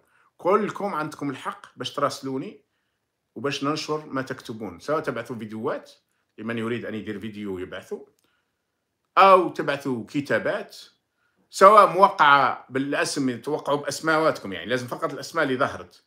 بصح إذا قلت لي باللي ما تظهرش أسمي مش حنظهر أسمك؟ وأنا وصيت المساعد إذا جت أي رسالة وقال صاحبها لا تظهر اسمي ما يظهرش أسمه. سنحترم ذلك. لكن لازم الأسماء التي ذكرت. بما فيهم جبار مهنا إلى حب يراسل ما عندناش مشكلة يعني. فسعدون آكلي. طبعا عنده كما قلنا عنده مموح ولكن مش مموح فقط عنده ثلاثة ثلاثة أولاد في الحقيقة. مشرفين. عنده أيضا انتربريز كبيرة نتاع السيراميك تستورد السيراميك إضافة لعدد من المشاريع في l'immobilier سواء في la Kabylie ولا في وهران وأيضا ال club تاع l'ASMO كما قلنا تاع وهران. وهو من آه، تبشيرين من ولاية تيزي وزو ويعرف باكلي تبشيرين معاهم ربيع شلبي. اللي هو اسمه الحقيقي مولا شلبي في الحقيقة لكن معاهم ربيع شلبي. آه وربيع شلبي من بين الأمور اللي يقوم بها ربيع شلبي جزء من جماعة لاديس donc ينسق بيناتهم مع لاديس. ولكن أيضا ربيع شلبي مكلفينه بأشياء أخرى لأن هذه العائلة يقوموا ب آه، ترتيب وهذا في الحقيقة الآن عند حراقة يعني عندي شهادات حراقة. يقوموا بترتيب الحرقة. عندهم عندهم بواخر à grande vitesse عندهم هذوك ماشي البوطي هذا اللي يهربوا به الناس اللي مساكن دائما يغرقوا. لا هذول عندهم الليكس. والليكس هذا لا يقل الهربة فيه لا تقل عن 6000 أورو. إذا تحب تروح في الليكس مخاطر أقل ما يحكموكش. فمن بين مش هما وحدهم مش سعدون فقط كاينين وحدة آخرين. لكن موجودين سعدون هذون أيضا في تهريب البشر إلى أوروبا خاصة إلى إسبانيا. وفي الغالب تتم هذه الأمور من آه من وهران. طبعا مساكين البسطاء كما شفنا تاع واسف وشفنا آه تاع أماكن أخرى يغرقوا مساكن يعني أو تاع بجاية أو نتاع عنابه أو نتاع مستغانم اللي يديروا رواحهم بوطيات وحدهم في الغالب يغرقوا. لكن إذا عندك دراهم و 6000 أورو والفوق ممكن تروح في رحلة آه، فخمة رحلة luxury كما تقال بالإنجليزية. ففيها أيضا مشترك مولا آه، مولا شلبي المعروف بربيع واللي عنده دور كبير جدا في موضوع جيسكا وفي موضوع لاديس وفي المخدرات هناك كل هؤلاء يساعدون آه يساعدون père et trois fils عندهم أوتيل يسمى لو بون دو بوجي لو بون دو بورجي وعندهم لوتيل نيفرلاند طبعا نيفرلاند أنا تكلمت عليه بما فيه موضوع اي تيدير آه، جمال اللي معروف بجمال دامانو والموت نتاعو اللي مشكوك فيه تماما ويعتقد أنه اغتيال. قاموا به هناك آه، المجموعة هذه لأسباب متعددة إلى آخره. من قبل طبعا هذاك اللي سعدون كان كان معروف في سوق تيزي وزو السوق القديم تاع les corbeaux يسموه ثاني les corbeaux. وكان مع باباه وكانت عندهم restaurant spécial بالك الناس الكبار يتفكروها يسموها الدوارة على l'époque يعني. كما كاين ملك اللوبيا مثلا تاع la rue Tanger مثلا تاع شارع طنجة في العاصمة. أه واستفادوا طبعا تم تدمير السوق القديم واستفادوا من قطع أراضي في تل عثمان. تل أحتمان أحتمان بالك راني ندقتها مليح. أحتمان ولا عثمان ربما احتمال كبير هي أحتمان وقلنا كانت عنده La Vieille Marmite في آه، في تيزي وزو. بعدين صرا فيها في هذا La Vieille Marmite وهو مرة أخرى سامحوني على العبارة لكن للأسف مادام ننقل في شهادات لازم نقولها وكباري عزكم الله. في هذا في La Vieille Marmite تاع Marmite تاع تيزي وزو اللي من بعد نقل نفس الاسم إلى وهران حدثت عملية اغتيال لمن؟ لعقيد عقيد تاع ال DRS كان هناك يبدو أنه عنف وضرب وتعامل مع واحدة من بائعات الهوى هناك من الفاجرات في هذا اللي يستخدموهم للأسف يعني هم في الغالب مساكن بنات ويدوهم نتيجة للفقر أو نتيجة لأنهم يدخلون في ال drogue أو أسر كثيرة تم تدميرها هكذا. فكان تعامل معها ربما بطريقة بشعة. فنحت له سلاحه وقتلته.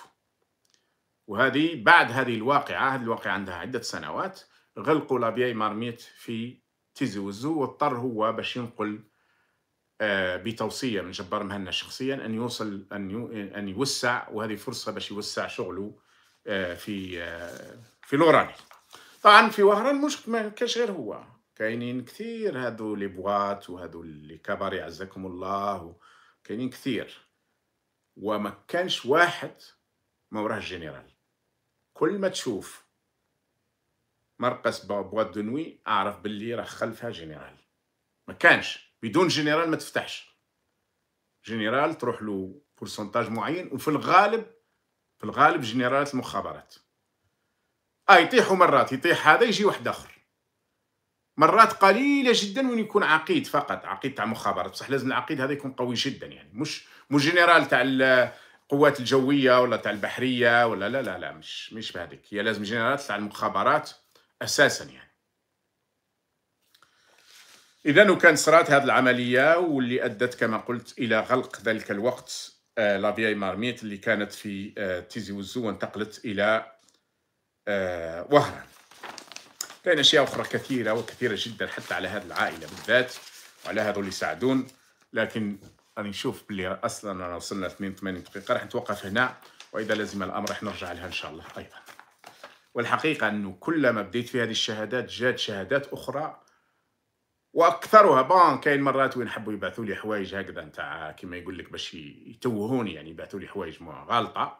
ونقدر نميزها يعني بعد ما نشوف ندير لي ريكوبمون ندير الأشياء ومع كاع واش عندي في واش راني عارف من هذه المصايب نقدر نميزها. لكن نقدر نقول بلي 80% من الأشياء اللي أرسلت لي ومن جهات أخرى ومن أطراف أخرى آه راهي تتراكم يعني. وشهادات تتراكم بشكل مفزع.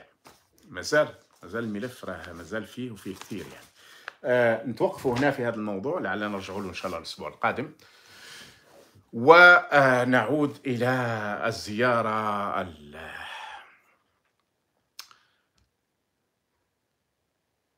جاتني في ذهني وأنا نقول لكم هكذا برك عملية سيف الحجاج. تعرفوا أن هذه عملية سيف الحجاج؟ هذه كان أعلنها شنقريحه في اللاويتيام بيبي في التسعينات. خلونا خلوها لنهار واحد آخر أيضا. زيارة تبون التي قالت عليها الصحافة العالمية أشياء.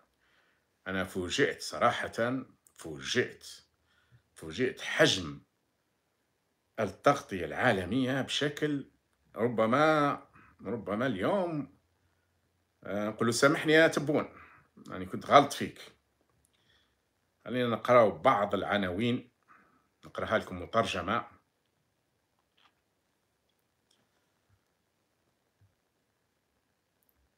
دعا المستثمرين المستثمرين من روسيا والعالم للاستفادة من التحفيزات الجزائرية. تبون لا لتسييس القرار الاقتصادي. هذا في إحدى ال- الجرائد العالمية تكلم عن الجرائد العالمية. آه، في جريدة أخرى نحن أحرار وسنبقى أحرار. تبون يختتم زيارته لروسيا برسالة إلى العالم. في عنوان آخر. الجزائريون ولدوا أحرارا وسيبقون كذلك. شراكة استراتيجية معمقة بين الجزائر وروسيا. في جريدة أخرى عالمية. الجزائر روسيا شراكة استراتيجية معمقة وتطابق تام للرؤى. في جريدة أخرى الرئيسان تبون وبوتين يوقعان إعلان الشراكة الاستراتيجية العميقة. وفي جريدة أخرى نهضة اقتصادية في الجزائر والروس أمام فرصة تاريخية. وفي جريدة أخرى زيارة تاريخية للرئيس تبون. الرئيس تبون الجزائريون ولدوا أحرارا وسيبقون أحرارا. فلاديمير بوتين الرئيس تبون زعيم يحترم مصالح بلاده. بروتوكولات مهيبة في استقبال العظماء للرئيس تبون بقصر الكريملين. وفي جريدة أخرى الجزائر أصبحت وجهة استثمار واعدة. الجزائر شريك محوري لروسيا في إفريقيا والعالم. الجزائر وروسيا توقعان إعلان الشراكة الاستراتيجية المعمقة. وفي جريدة أخرى باش ما نطولش عليكم روسيا تقبل وساطة الجزائر مع أوكرانيا. التوقيع على إعلان الشراكة الاستراتيجية المعمقة في الجزائر. وروسيا وعدة اتفاقيات ومذكرات تفاهم. بوتين الجزائر تحتل الريادة بين شركاء روسيا في القارة الإفريقية. خويا أنا الجزائر صراحة هذه الزيارة راهي قلبت العالم يا صاحبي. يا صاحبي هذا تبون خرجنا. إحنا ما كناش نظنوا هاك صراحة. برك أنا نحبس قاعد اللايفات ونسحبس اللايفات القديمة وربما حتى نعتذر له يعني. إذا كانت الصحافة العالمية تقول عليه هكذا. برك كيفاش؟ برك ما عنده الحق. كما قالها مرة قال لك العالم كاع ما اعترف بنا. غير هذو بعض الناس هذو من أولاد البلاد اللي اللي آه، مش عارفين قيمة البلاد وقيمة النظام الحكم و... بكل أسف وألم. يكاد لا يذكر اسمه في أي صحافة أو صحيفة عالمية. علاش نقول بكل أسف وألم؟ للجزائر. لأنه هو المفروض محسوب رئيس الجزائر. اللهم إلا بعض الكتابات الصغيرة هاك بعض الصحف الفرنسية كتبت هكذا بعض القطع قال لك تبون الزيارة هذه وربما ارتكب أخطاء في حديثه مع مع بعض بعض القصاصات في في بعض المواقع. بينما هذه الجرائد اللي كنت نقرأ لكم فيها واللي أنا باستهزاء قلت لكم جرائد عالمية هاي هاي الجرائد العالمية. هاي اسمواتها هاي واحدة مثلا اسمها الخبر. هاي. الثانية اسمها السياسي. هاي الجرائد العالمية اللي كنت نقول لكم. الثالثة اسمها أخبار اليوم. الرابعة اسمها الجزائر. الخامسة الوسط. وجبت لكم هذول اللي صادرين بالعربية باش ما نبقاش نترجم لأن أيضا النسخ نتاعهم المفرنسة صادرة بعناوين مثل هذه وأكثر. من هي هذه الجرايد جرايد الريع. الجرايد التي يأكلون في بطونهم نارا الذين يأكلون أموال الشعب الجزائري. لم تعد صحافة. قد يكون هناك صحفي هنا أو هناك صحفي أو صحفية. لكن هذه جرائد أصبحت 100% أبواق. يعني حتى في عهد بوتفليقة مثلا كانت 80% ولا 85% أبواق. في عهد التسعينات كانت 90% أبواق. الآن 100% أبواق. يعني قالوا لهم باختصار بسيط ليه ما يكونش بوق؟ ويتمسح لل rangers وال... وال... والواجهة المدنية نتاع les نتاع ال rangers. نجعلوا حياته جحيم. نغلقوا له الجرائد نجيبوا نبعثوا له نبعثوا له ال fisc نبعثوا له تاع الضرائب نقول نجبدوا له الديون ورا كاع عندكم ملفات أخلاقية نجيبوها لكم إلى آخره. فخلاوهم الآن مصيبة خلاوهم ابواق بائسة. وهذه أضرت بالعصابة الحاكمة لأنه كون جاو أذكياء حقيقة بوتفليقة كان أذكى منهم. بوتفليقة كان مخلي هذيك العشرة في المية نتاع انتقادات هنا انتقادات هناك. الناس كانت تقرأ مرات هذه الجرائد أو تطلع عليه. أنا شخصيا في الفترة هذه كنت مرة مرة نطلع لأن مرة مرة تلقى مقال معقول مرة مرة تلقى خبر مليح مرة مرة جايبين dossier لاباس. معقول. معقول بالمستوى تاع الرداء السائد في الجزائر. الآن هادو أنا متأكد باللي ربما السردين كاش نهار ما يتباعش فيهم يعني. أبواق بشعة. فظيعة. يصوروا في petit بوتين هذا وكأنه حاكم الصين. أو حاكم ألمانيا أو حاكم أمريكا أو راهو كان نقطة هكذا في جدول الأعمال تاع بوتين. وحتى هذيك الصورة اللي بانت وتلفزيونات اللي جايبينها هذه كلها راهي تمت في ظرف ساعتين. واستقبلوا بوتين في اليوم الثالث. وبعدين بوتين هذا شكون؟ هل هو بوتين نتاع 2015 أو 2020 أو حتى 2021 لا هذا بوتين تاع ما بعد الحرب في أوكرانيا. اللي عشرات الآلاف من الشباب الروسي قتل. مئات الآلاف من الشباب الروسي وغيرهم حتى من الأجانب جرحوا. ودمار هائل. هذا فقط كي نشوفوا الشباب الروسي بما فيها الأسلحة. طبعا الأوكران نفس الشيء لكن الأوكران في نهاية المطاف يدافعون عن أرضهم. فهم عندهم قضية لكن بالنسبة للروس أي قضية عندهم؟ اللهم إلا أن بوتين كان يشوف باللي أوكرانيا هذه والغرب ممكن يدير للحلف الأطلسي ومانيش عارف نفترض وقع هذا الكلام صحيح. بتصريح آه زعيم فاغنر قال كانت أوكرانيا ربما لا تملك ربعين ألف مقاتل يستطيعون أن يقاتلوا بشكل جيد. الآن عندهم جيش فيه أكثر من 400 ألف مقاتل شرس. هذا بتصريح زعيم فاغنر نفسه. وكثير من الكتابات العالمية بالمناسبة يعني. وأحيانا بعض منها موالي أو مش موالي على الأقل مش معادي للنظام الروسي. يقول لك أن أوكرانيا أقوى من أي وقت مضى. هذا من جهة. من جهة أخرى فنلندا انضمت للحلف الأطلسي ولم تكن جزء منه. السويد ستنضم للحلف الأطلسي ولولا أردوغان اللي راه معطلهم ولكن مع ذلك سينضمون.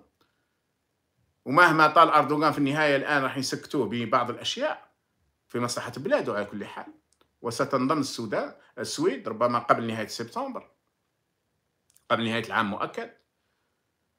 وهذيك البلدان تاع البلطيق وكذا اللي كانت مرعوبة وخايفة وكذا الآن فيها قوات أمريكية وغربية غير مسبوقة. وطائرات ودبابات وبولندا و... وأمريكا تضع سلاحها في أوروبا كما لم تضعه منذ الحرب العالمية الثانية. وأشياء أخرى كثيرة. اذا هذه زيارة تبون لبوتين. هذا بوتين جريح. حتى لا أقول غريق. وفي نهاية حتى لو ينتصر في هذه الحرب. فروسيا من الناحيه الاستراتيجية هزمت. من الناحيه التكنولوجية ستمنع عليها ومنعت عليها. 300 مليار دولار الأمريكان الآن يناقشوا باش يمدوا 300 مليار دولار اللي هي مجمدينها الامريكان ودول أخرى الآن باش يخرج قانون تسلم لأوكرانيا 300 مليار دولار. كل خسائر أوكرانيا لحد الآن قد لا تصل 300 مليار دولار. 300 مليار دولار أوكرانيا تعاود تبني نفسها من جديد بالمال الروسي. اللهم إلا الروس يقول لك نستخدموا النووي من بعد. نضربوا نضربوا أمريكا وأمريكا تضربنا وانتهى الموضوع. وأشياء أخرى كثيرة. مئات الآلاف من الشباب الروسي هربوا من روسيا. مئات الملايير من الدولارات ماشي تاع الحكومة الروسية تاع الأوليغارش اللي هما أصدقاء بوتين. تم تجميدها في الغرب. الأذكياء منهم هربوا بعض ال... بعض الملايين إلى دبي أو بعض المليارات إلى دبي. وأشياء أخرى كثيرة. لو كان نجي ندير الحصيلة نعم أوكرانيا شبه مدمرة. لكن ما تقارنش نفسك بأوكرانيا. أنت كنت القوة الثانية في العالم وكان الجيش الروسي ذكره ذكر اسمه فقط يرعب الناس. الآن ولا يخرجوا الألمان اللي هم بلا جيش يقول لي أوكرانيا ضربوهم داخل روسيا. تخافوش رانا هنا. هذو الألمان اللي ما عندهمش جيش منذ الحرب العالمية الثانية. حتى ماكرون اللي كان يقول ما ما تحشروش بوتين في الزاوية باش ما يكونش كالدابه الجريحة آه، فيخلبط في كل اتجاه. الآن أصبح يقول للأوكران اضربوا روسيا داخل روسيا رانا هنا. تخيلوا يعني. ف آه، في هذه الأوقات يروح هناك بوتين آه، تبون ويقول كما قلت لا يكاد يجي ذكره. حتى قضية هذه تاع أن الجزائر مصالحة. ذكروا هذ اليومين ذكروا المصالحة الأندونيسية الأندونيسيا عندها مبادرة والإمارات عندها مبادرة والأفارقة عندهم مبادرة. لكن لا أحد لم أجد في أي جريدة عالمية أو موقع عالمي محترم يتحدث على أن هناك مبا... وساطة جزائرية. طبعا أنا هذا يؤلمني ماذا بيا يكون الجزائر هي ال... هي الأرفع والأقوى في العالم. يعني ماذا بيا الجزائر هي اليوم هي في في مكان الولايات المتحدة أو في مكان الصين أو في مكان ألمانيا. والمنطقة المغاربية ككل. لكن بيع الأوهام. يعني هذا مثل هذاك اللي مسكين يعود خاصو قارو. والله درك الناس اللي راهي تاخذ مخدرات خاصو dose. يجيبوا له أي dose حتى لو كانت تكون trafiquée يديرها خاطر شي راهو خلاص يستنى في أي حاجة مش قادر يتوقف على la drogue يعني ولا على الدخان ولا. فكاين جزائريين مساكن. يشوفوا باللي الجزائر خاصة في هذه الخصومات مع الذباب من جهة المغرب والذباب من جهة الجزائر ومرات مش حتى ذباب مرات هما ناس ودخلوا في المعارك يعني. فماذا بيهم هذه الجزائر تبان وكأنها هي الصين يعني لكن هذا مش حقيقة. والحقيقة أن حتى كل المغرب كل الجزائر في زوجهم ضعاف ولكن المصيبة تاع تبون هذا. مصيبة تاع تبون أنه يزعم أنه في جمهورية وجا رئيس المغرب ملك وقال لك أنا هذه الملكية وهذا هو الواقع خذوه ولا اتركوه. لكن هذا على أساس أنه رئيس ومنتخب. وين المنتخب؟ ما كان الانتخاب الأول. وكوارث. كوارث في حديثه في خطاباته في نشوفوا بعض المقاطع على السريع. باش برك نقول لأن كثير من الناس قالوا لي ما هي التداعيات؟ بدأت الناس اليوم واحد لقيته هكذا على السريع. قال يحكي لنا على التداعيات راه دينا الكارثة هذا هذا السيد يعني. آه شوف هما هذه الزيارة جات بموافقة غربية. قالوا له معليش الآن آه نسمحوا لك باش تزور. لما قال روح قبل نهاية 2022 قالها هو وقالها العمامرة وقالوها في شحال من مكان قالوا له نيات ما تروحش. وبعدين جات لازم يروح لفرنسا قبل ما يروح لروسيا. وبعدين لأن هناك مشاكل في فرنسا سواء تتعلق بال المظاهرات الفرنسية أو خوفهم أيضا من مظاهرات جزائريين ضده آه، آه، ولات ذهابوا إلى فرنسا مستحيل. فركبوا زيارة على السريع إلى لشبونة إلى آه، إلى البرتغال. وهناك تلقى فضيحة وفضيحة البيت وشفنا استقباله مير تاع البلدية. واحد كتب لي قال لي ما شفتش استقبال الكبير تاعو اللي تلقاه في لشبونة؟ يعني مصدق الموضوع هذا. قلت له وين الاستقبال الكبير؟ رئيس الوزراء استقبلوا على فافيت. رئيس البرتغال هو مكان رمزي ماهوش رئيس حقيقي. وبعدين رئيس البلدية هو اللي قضى معاه ساعة فقط. هاي وش وين الاستقبال الكبير طبعا المهم. فتداعياتها كبيرة لكن قبل ما نروح للتداعيات خلينا نشوف واحد المقطع. الأصدقاء الكرام الرئيس وجد الناس البرج الاقتصادي الدولي في الجلسة العامة. الدائرية ليس فقط كان موقف البعض من نشاطه إلا أن هذا النشاط يثير انفعالات قوية في العالم كله. فالرئيس بوتين ينظر عليه عالميا على أنه شخصية تاريخية تؤثر قراراته تأثيرا كبيرا وعظيما على مصائر روسيا وعلى مستقبل العالم بأسره. سيد فلاديمير بوتين الكلمة لكم هذا في تقديم بوتين. نشوفوا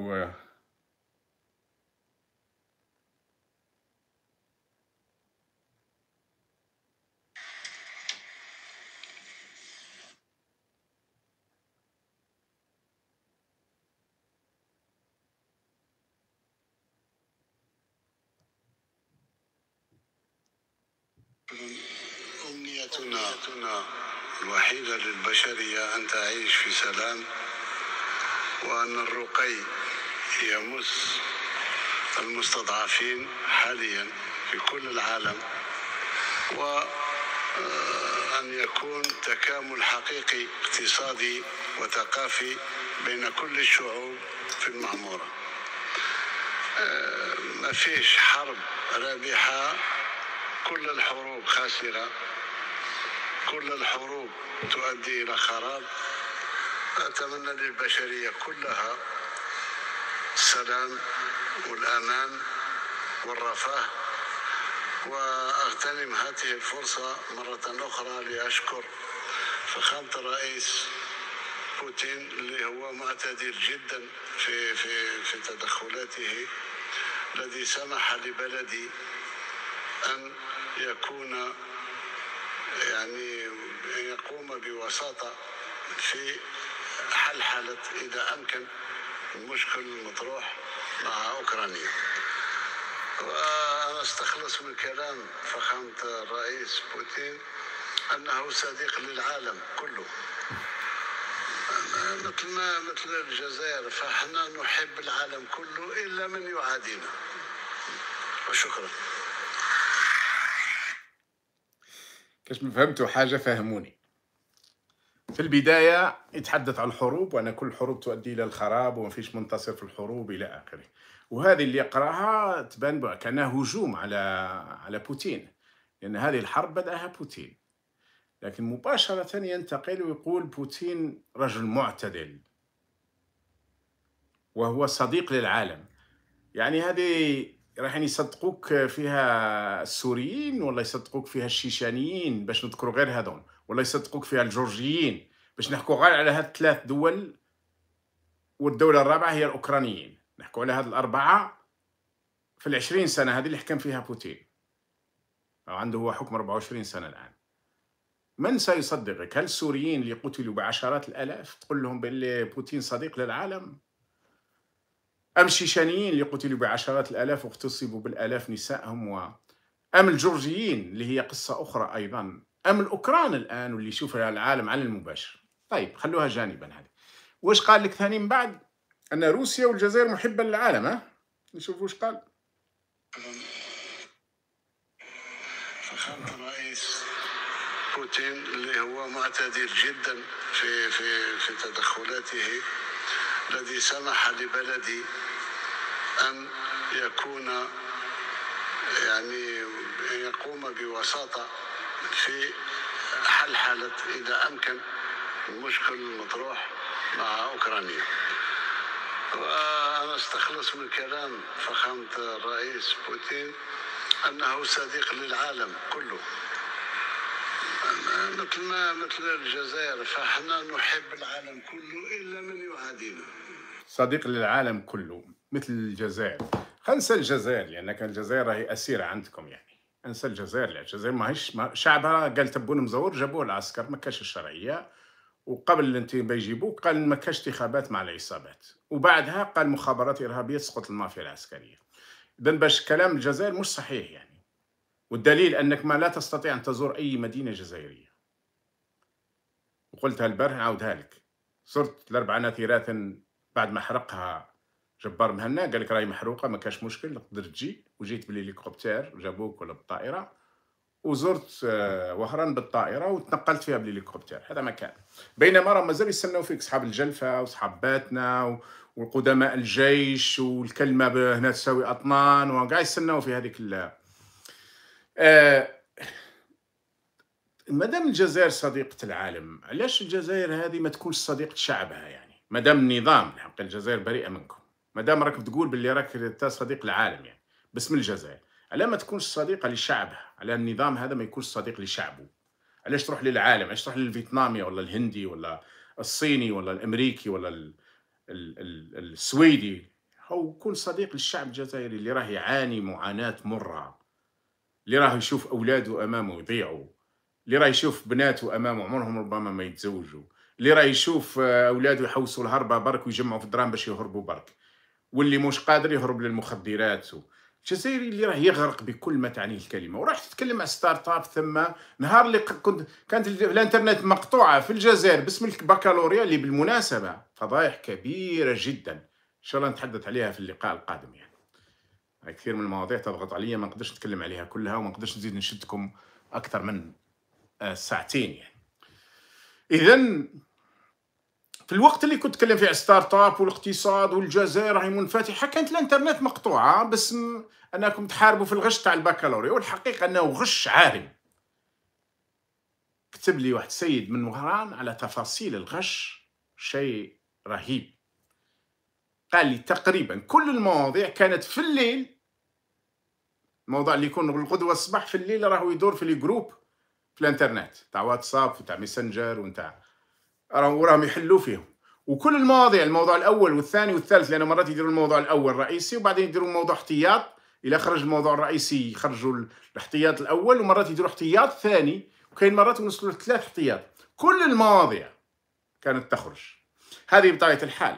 هذه لازم تكون جهة مركزية. هذه ماهوش لعب تاع دراري هنا ولا لهيه هذه جهة داخل سلطات الحكم هي اللي قامت بتدمير هذا الامتحان تاع البكالوريا. والكثيرين في كثير من المدن كانت فيها كان فيه غش رهيب. موضوع ربما نرجع له في وقت أخرى. اذا كونوا أصدقاء مع شعبكم. خلوا شعبكم هذا بدل ما راكم ديروا له البراجات في كل مكان لي دودان في كل مكان هات لاكارت في كل مكان القمع تاع الشرطة القمع تاع الدرك الضغط هذا الرهيب. على الناس كونوا حسوا باللي هذا الشعب ما يستحقش راكم تحولوا فيه إلى كله إلى أمراض أمراض نفسية وعقلية وجسدية. ناس تصاب بأمراض القلق وأمراض الغضب وم... لماذا ما لماذا ما تكونوش أصدقاء لشعبكم؟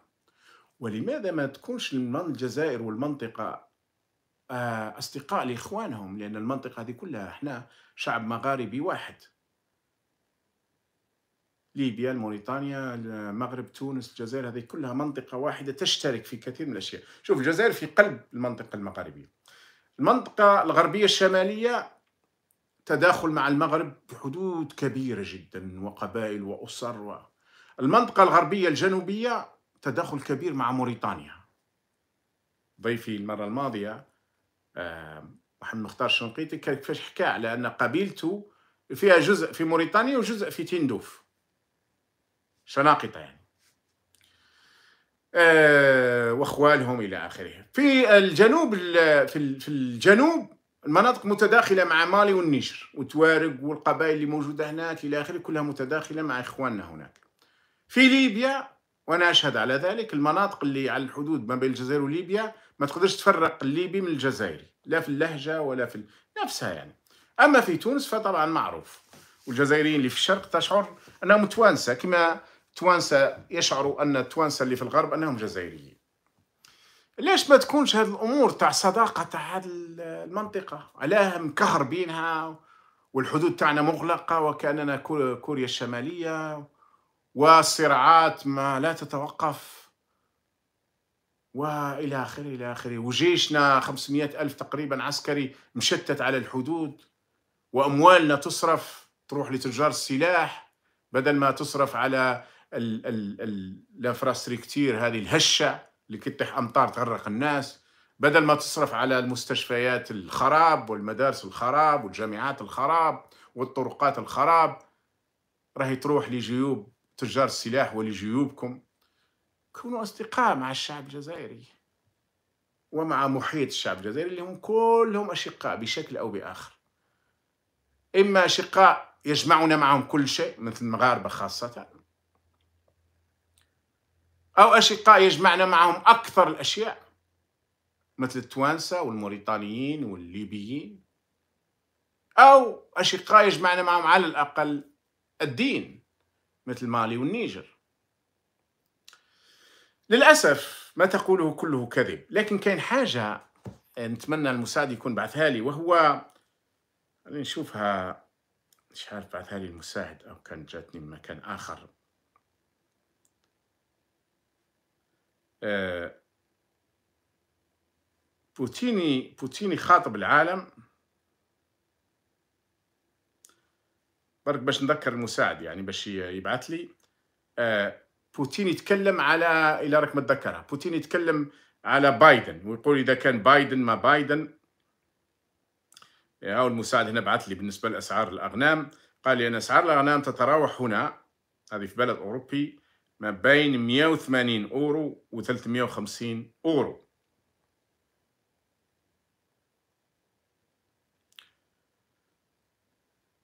ايه هاي هاو المقطع هنا اسمعوا هذا المقطع وشوفوا شوفوا بوتين في الاخير Не мне его учить. Пусть он делает так, как считает нужным, а мы будем делать то, что считаем соответствует интересам Российской Федерации и народа России. И с этим придется всем считаться. آه شفتوا بوتين آه، تبوني صفق بحرارة. لكن واش قال؟ خلينا نشوف واش قال. هنا باللغة الروسية نقراها الترجمة.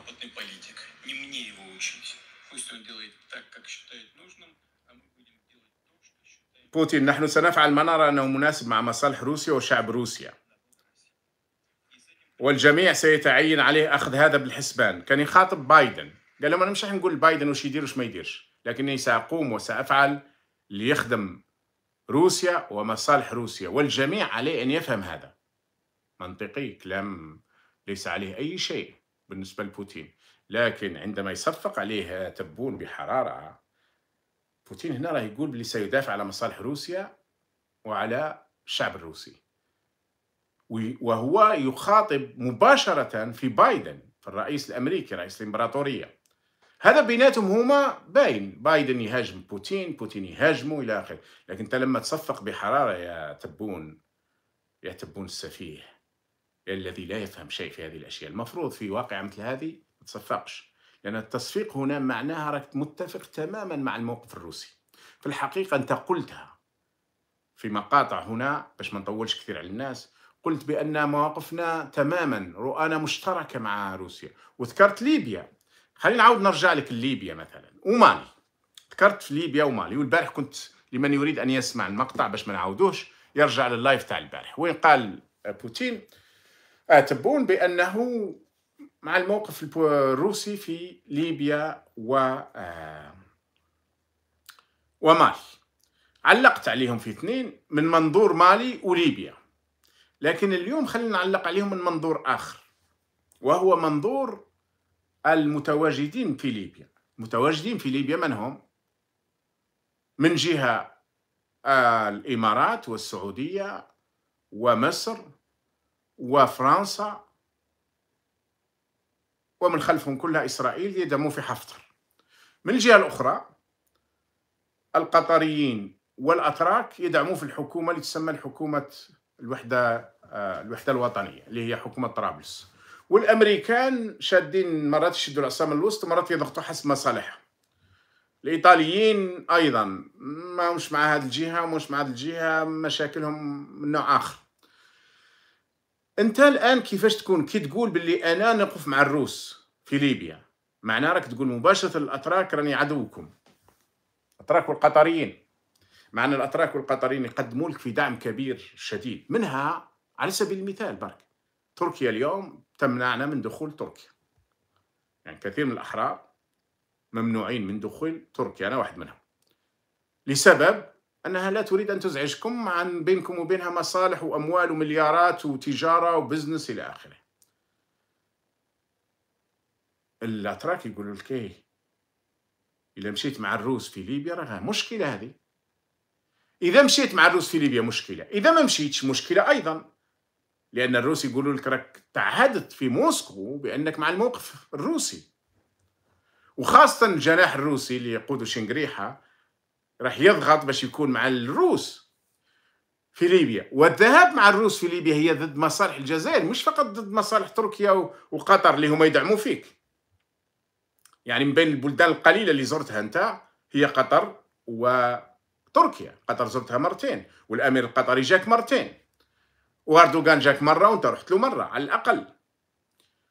إذا آه، مش فقط نتيجة للعلاقات اللي موجودة بين نظامكم وهذه الدولتين ولكن أيضا الروس راح يقولوا لكم إذا مشيتوا مع الروس مشكلة مع الأتراك والقطريين. وإذا مشيتوا مع آه، مع إذا بقيتوا كما هو الموقف لكن إذا مشيتوا مع الروس هذا معادي للمصالح حفتر قال بصريح العبارة والناس يستطيعون أن يجدوها قال أنه كشنهار يدخل على الجزائر. واش يحسبوا روحهم هذا النظام الجزائري؟ ولا الدولة الجزائرية هذه. وهدد باقتحام الحدود. طبعا تهديدات حفتر ما تروحش بعيد. إحنا عارفين المطاف الجزائري يقدروا يردوا عليه. لكن تهديد يعني لما يصبح لو يصبح حفتر من بعد لأن الموقف الروسي هو وضع حفتر رئيس على ليبيا. أو واحد شبيه بحفتر لما يصبح عنده إمكانيات الدولة الليبية ما توليش المطاف ترد عليه. تولي عنده ما إمكانيات تاع دولة ودولة ثرية وغنية وتدعمها دول كبرى لأن ليبيا غنية جدا. ليبيا آه، هي الوحيدة اللي تقدر تتقارن في غنى الجزائر. لكن عدد سكانهم 8 ملايين. معناها دائما يحتاجوا ربما إلى دعم خارجي. أو على الأقل إلى عدم اعتداء خارجي. فالقول أنك تذهب مع روسيا في ليبيا في كما هي هو ضد المصالح الجزائرية وضد المصالح نتاع الدول اللي راهي تساعد فيك. خاصة قطر وتركيا. وإذا ما ذهبتش الروس راح يجبدوها لكم لأن بالنسبة لهم راك تعهدت باش تمشي مع الله الآن في مالي. قلت أيضا أنك ستمضي ولا ستدعم الروس في مالي. والحقيقة هذه موجودة يعني. إحنا بالنسبة إلينا هذه على الأقل وقفت شيء. أنا كنت ناضلت من اجله وقاومت من اجله وتكلمت من اجله كثيرا. والناس يقدروا خاوتي يرجعوا لللايفات تاع 2020 وخاصة 2021 لما كانوا يفكروا بإرسال الجيش الجزائري وبداوا بإرسال بعض الطلائع تاع المخابرات إلى مالي وإلى بوركينا فاسو وإلى أماكن أخرى تحتلها فرنسا وكان اتفاق مع فرنسا إنهم يرسلوا حتى أعضاء الجيش الجزائري. وبدلوا الدستور راكم تتذكروا غيروا الدستور باش يسمحوا للجيش أن يروح للخارج. أنا ذاك كان كله لدعم الموقف الفرنسي اللي كانوا الأفارقة بدعم روسي صيني تركي يحاولوا يخرجوه من إفريقيا. لكن العصابة اللي عندنا وأنا ذاك كان محمد قايدي هو اللي يقود هذا الجناح محمد قايدي في الحقيقة برغم انتقاداتنا له وهي انتقادات موضوع موضوعية ومعروفة علاش؟ إلا أنه بعيد كثير على شنقريحة في المستوى وفي التفكير وحتى في السن. محمد قايدي 62 ولا 63 سنة ولا 64 سنة بينما شنقريحة راه داخل الثمانين وفي الجيش هذا مهم. 10 سنين 15 سنة فرق مهم جدا يعني. لكن لما سبكم ماكرون اعطاه فرصة للجناح الروسي باش يطيح بالجناح الفرنسي في الجزائر. جميل بالنسبة لنا على الأقل جيشنا ما يروحش يقاتل مع فرنسا في إفريقيا. لكن كاين حاجة أخرى الآن. الآن الفرنسيين والغربيين يقول لكم راكم ماشيين مع الروس في ليبيا وفي مالي. ما هي إمكانياتكم؟ كيفاش تقدروا تدافعوا على أرواحكم لما تدخلوا وتصبحوا طرف في هذا الصراع؟ ما هي إمكانياتنا إحنا؟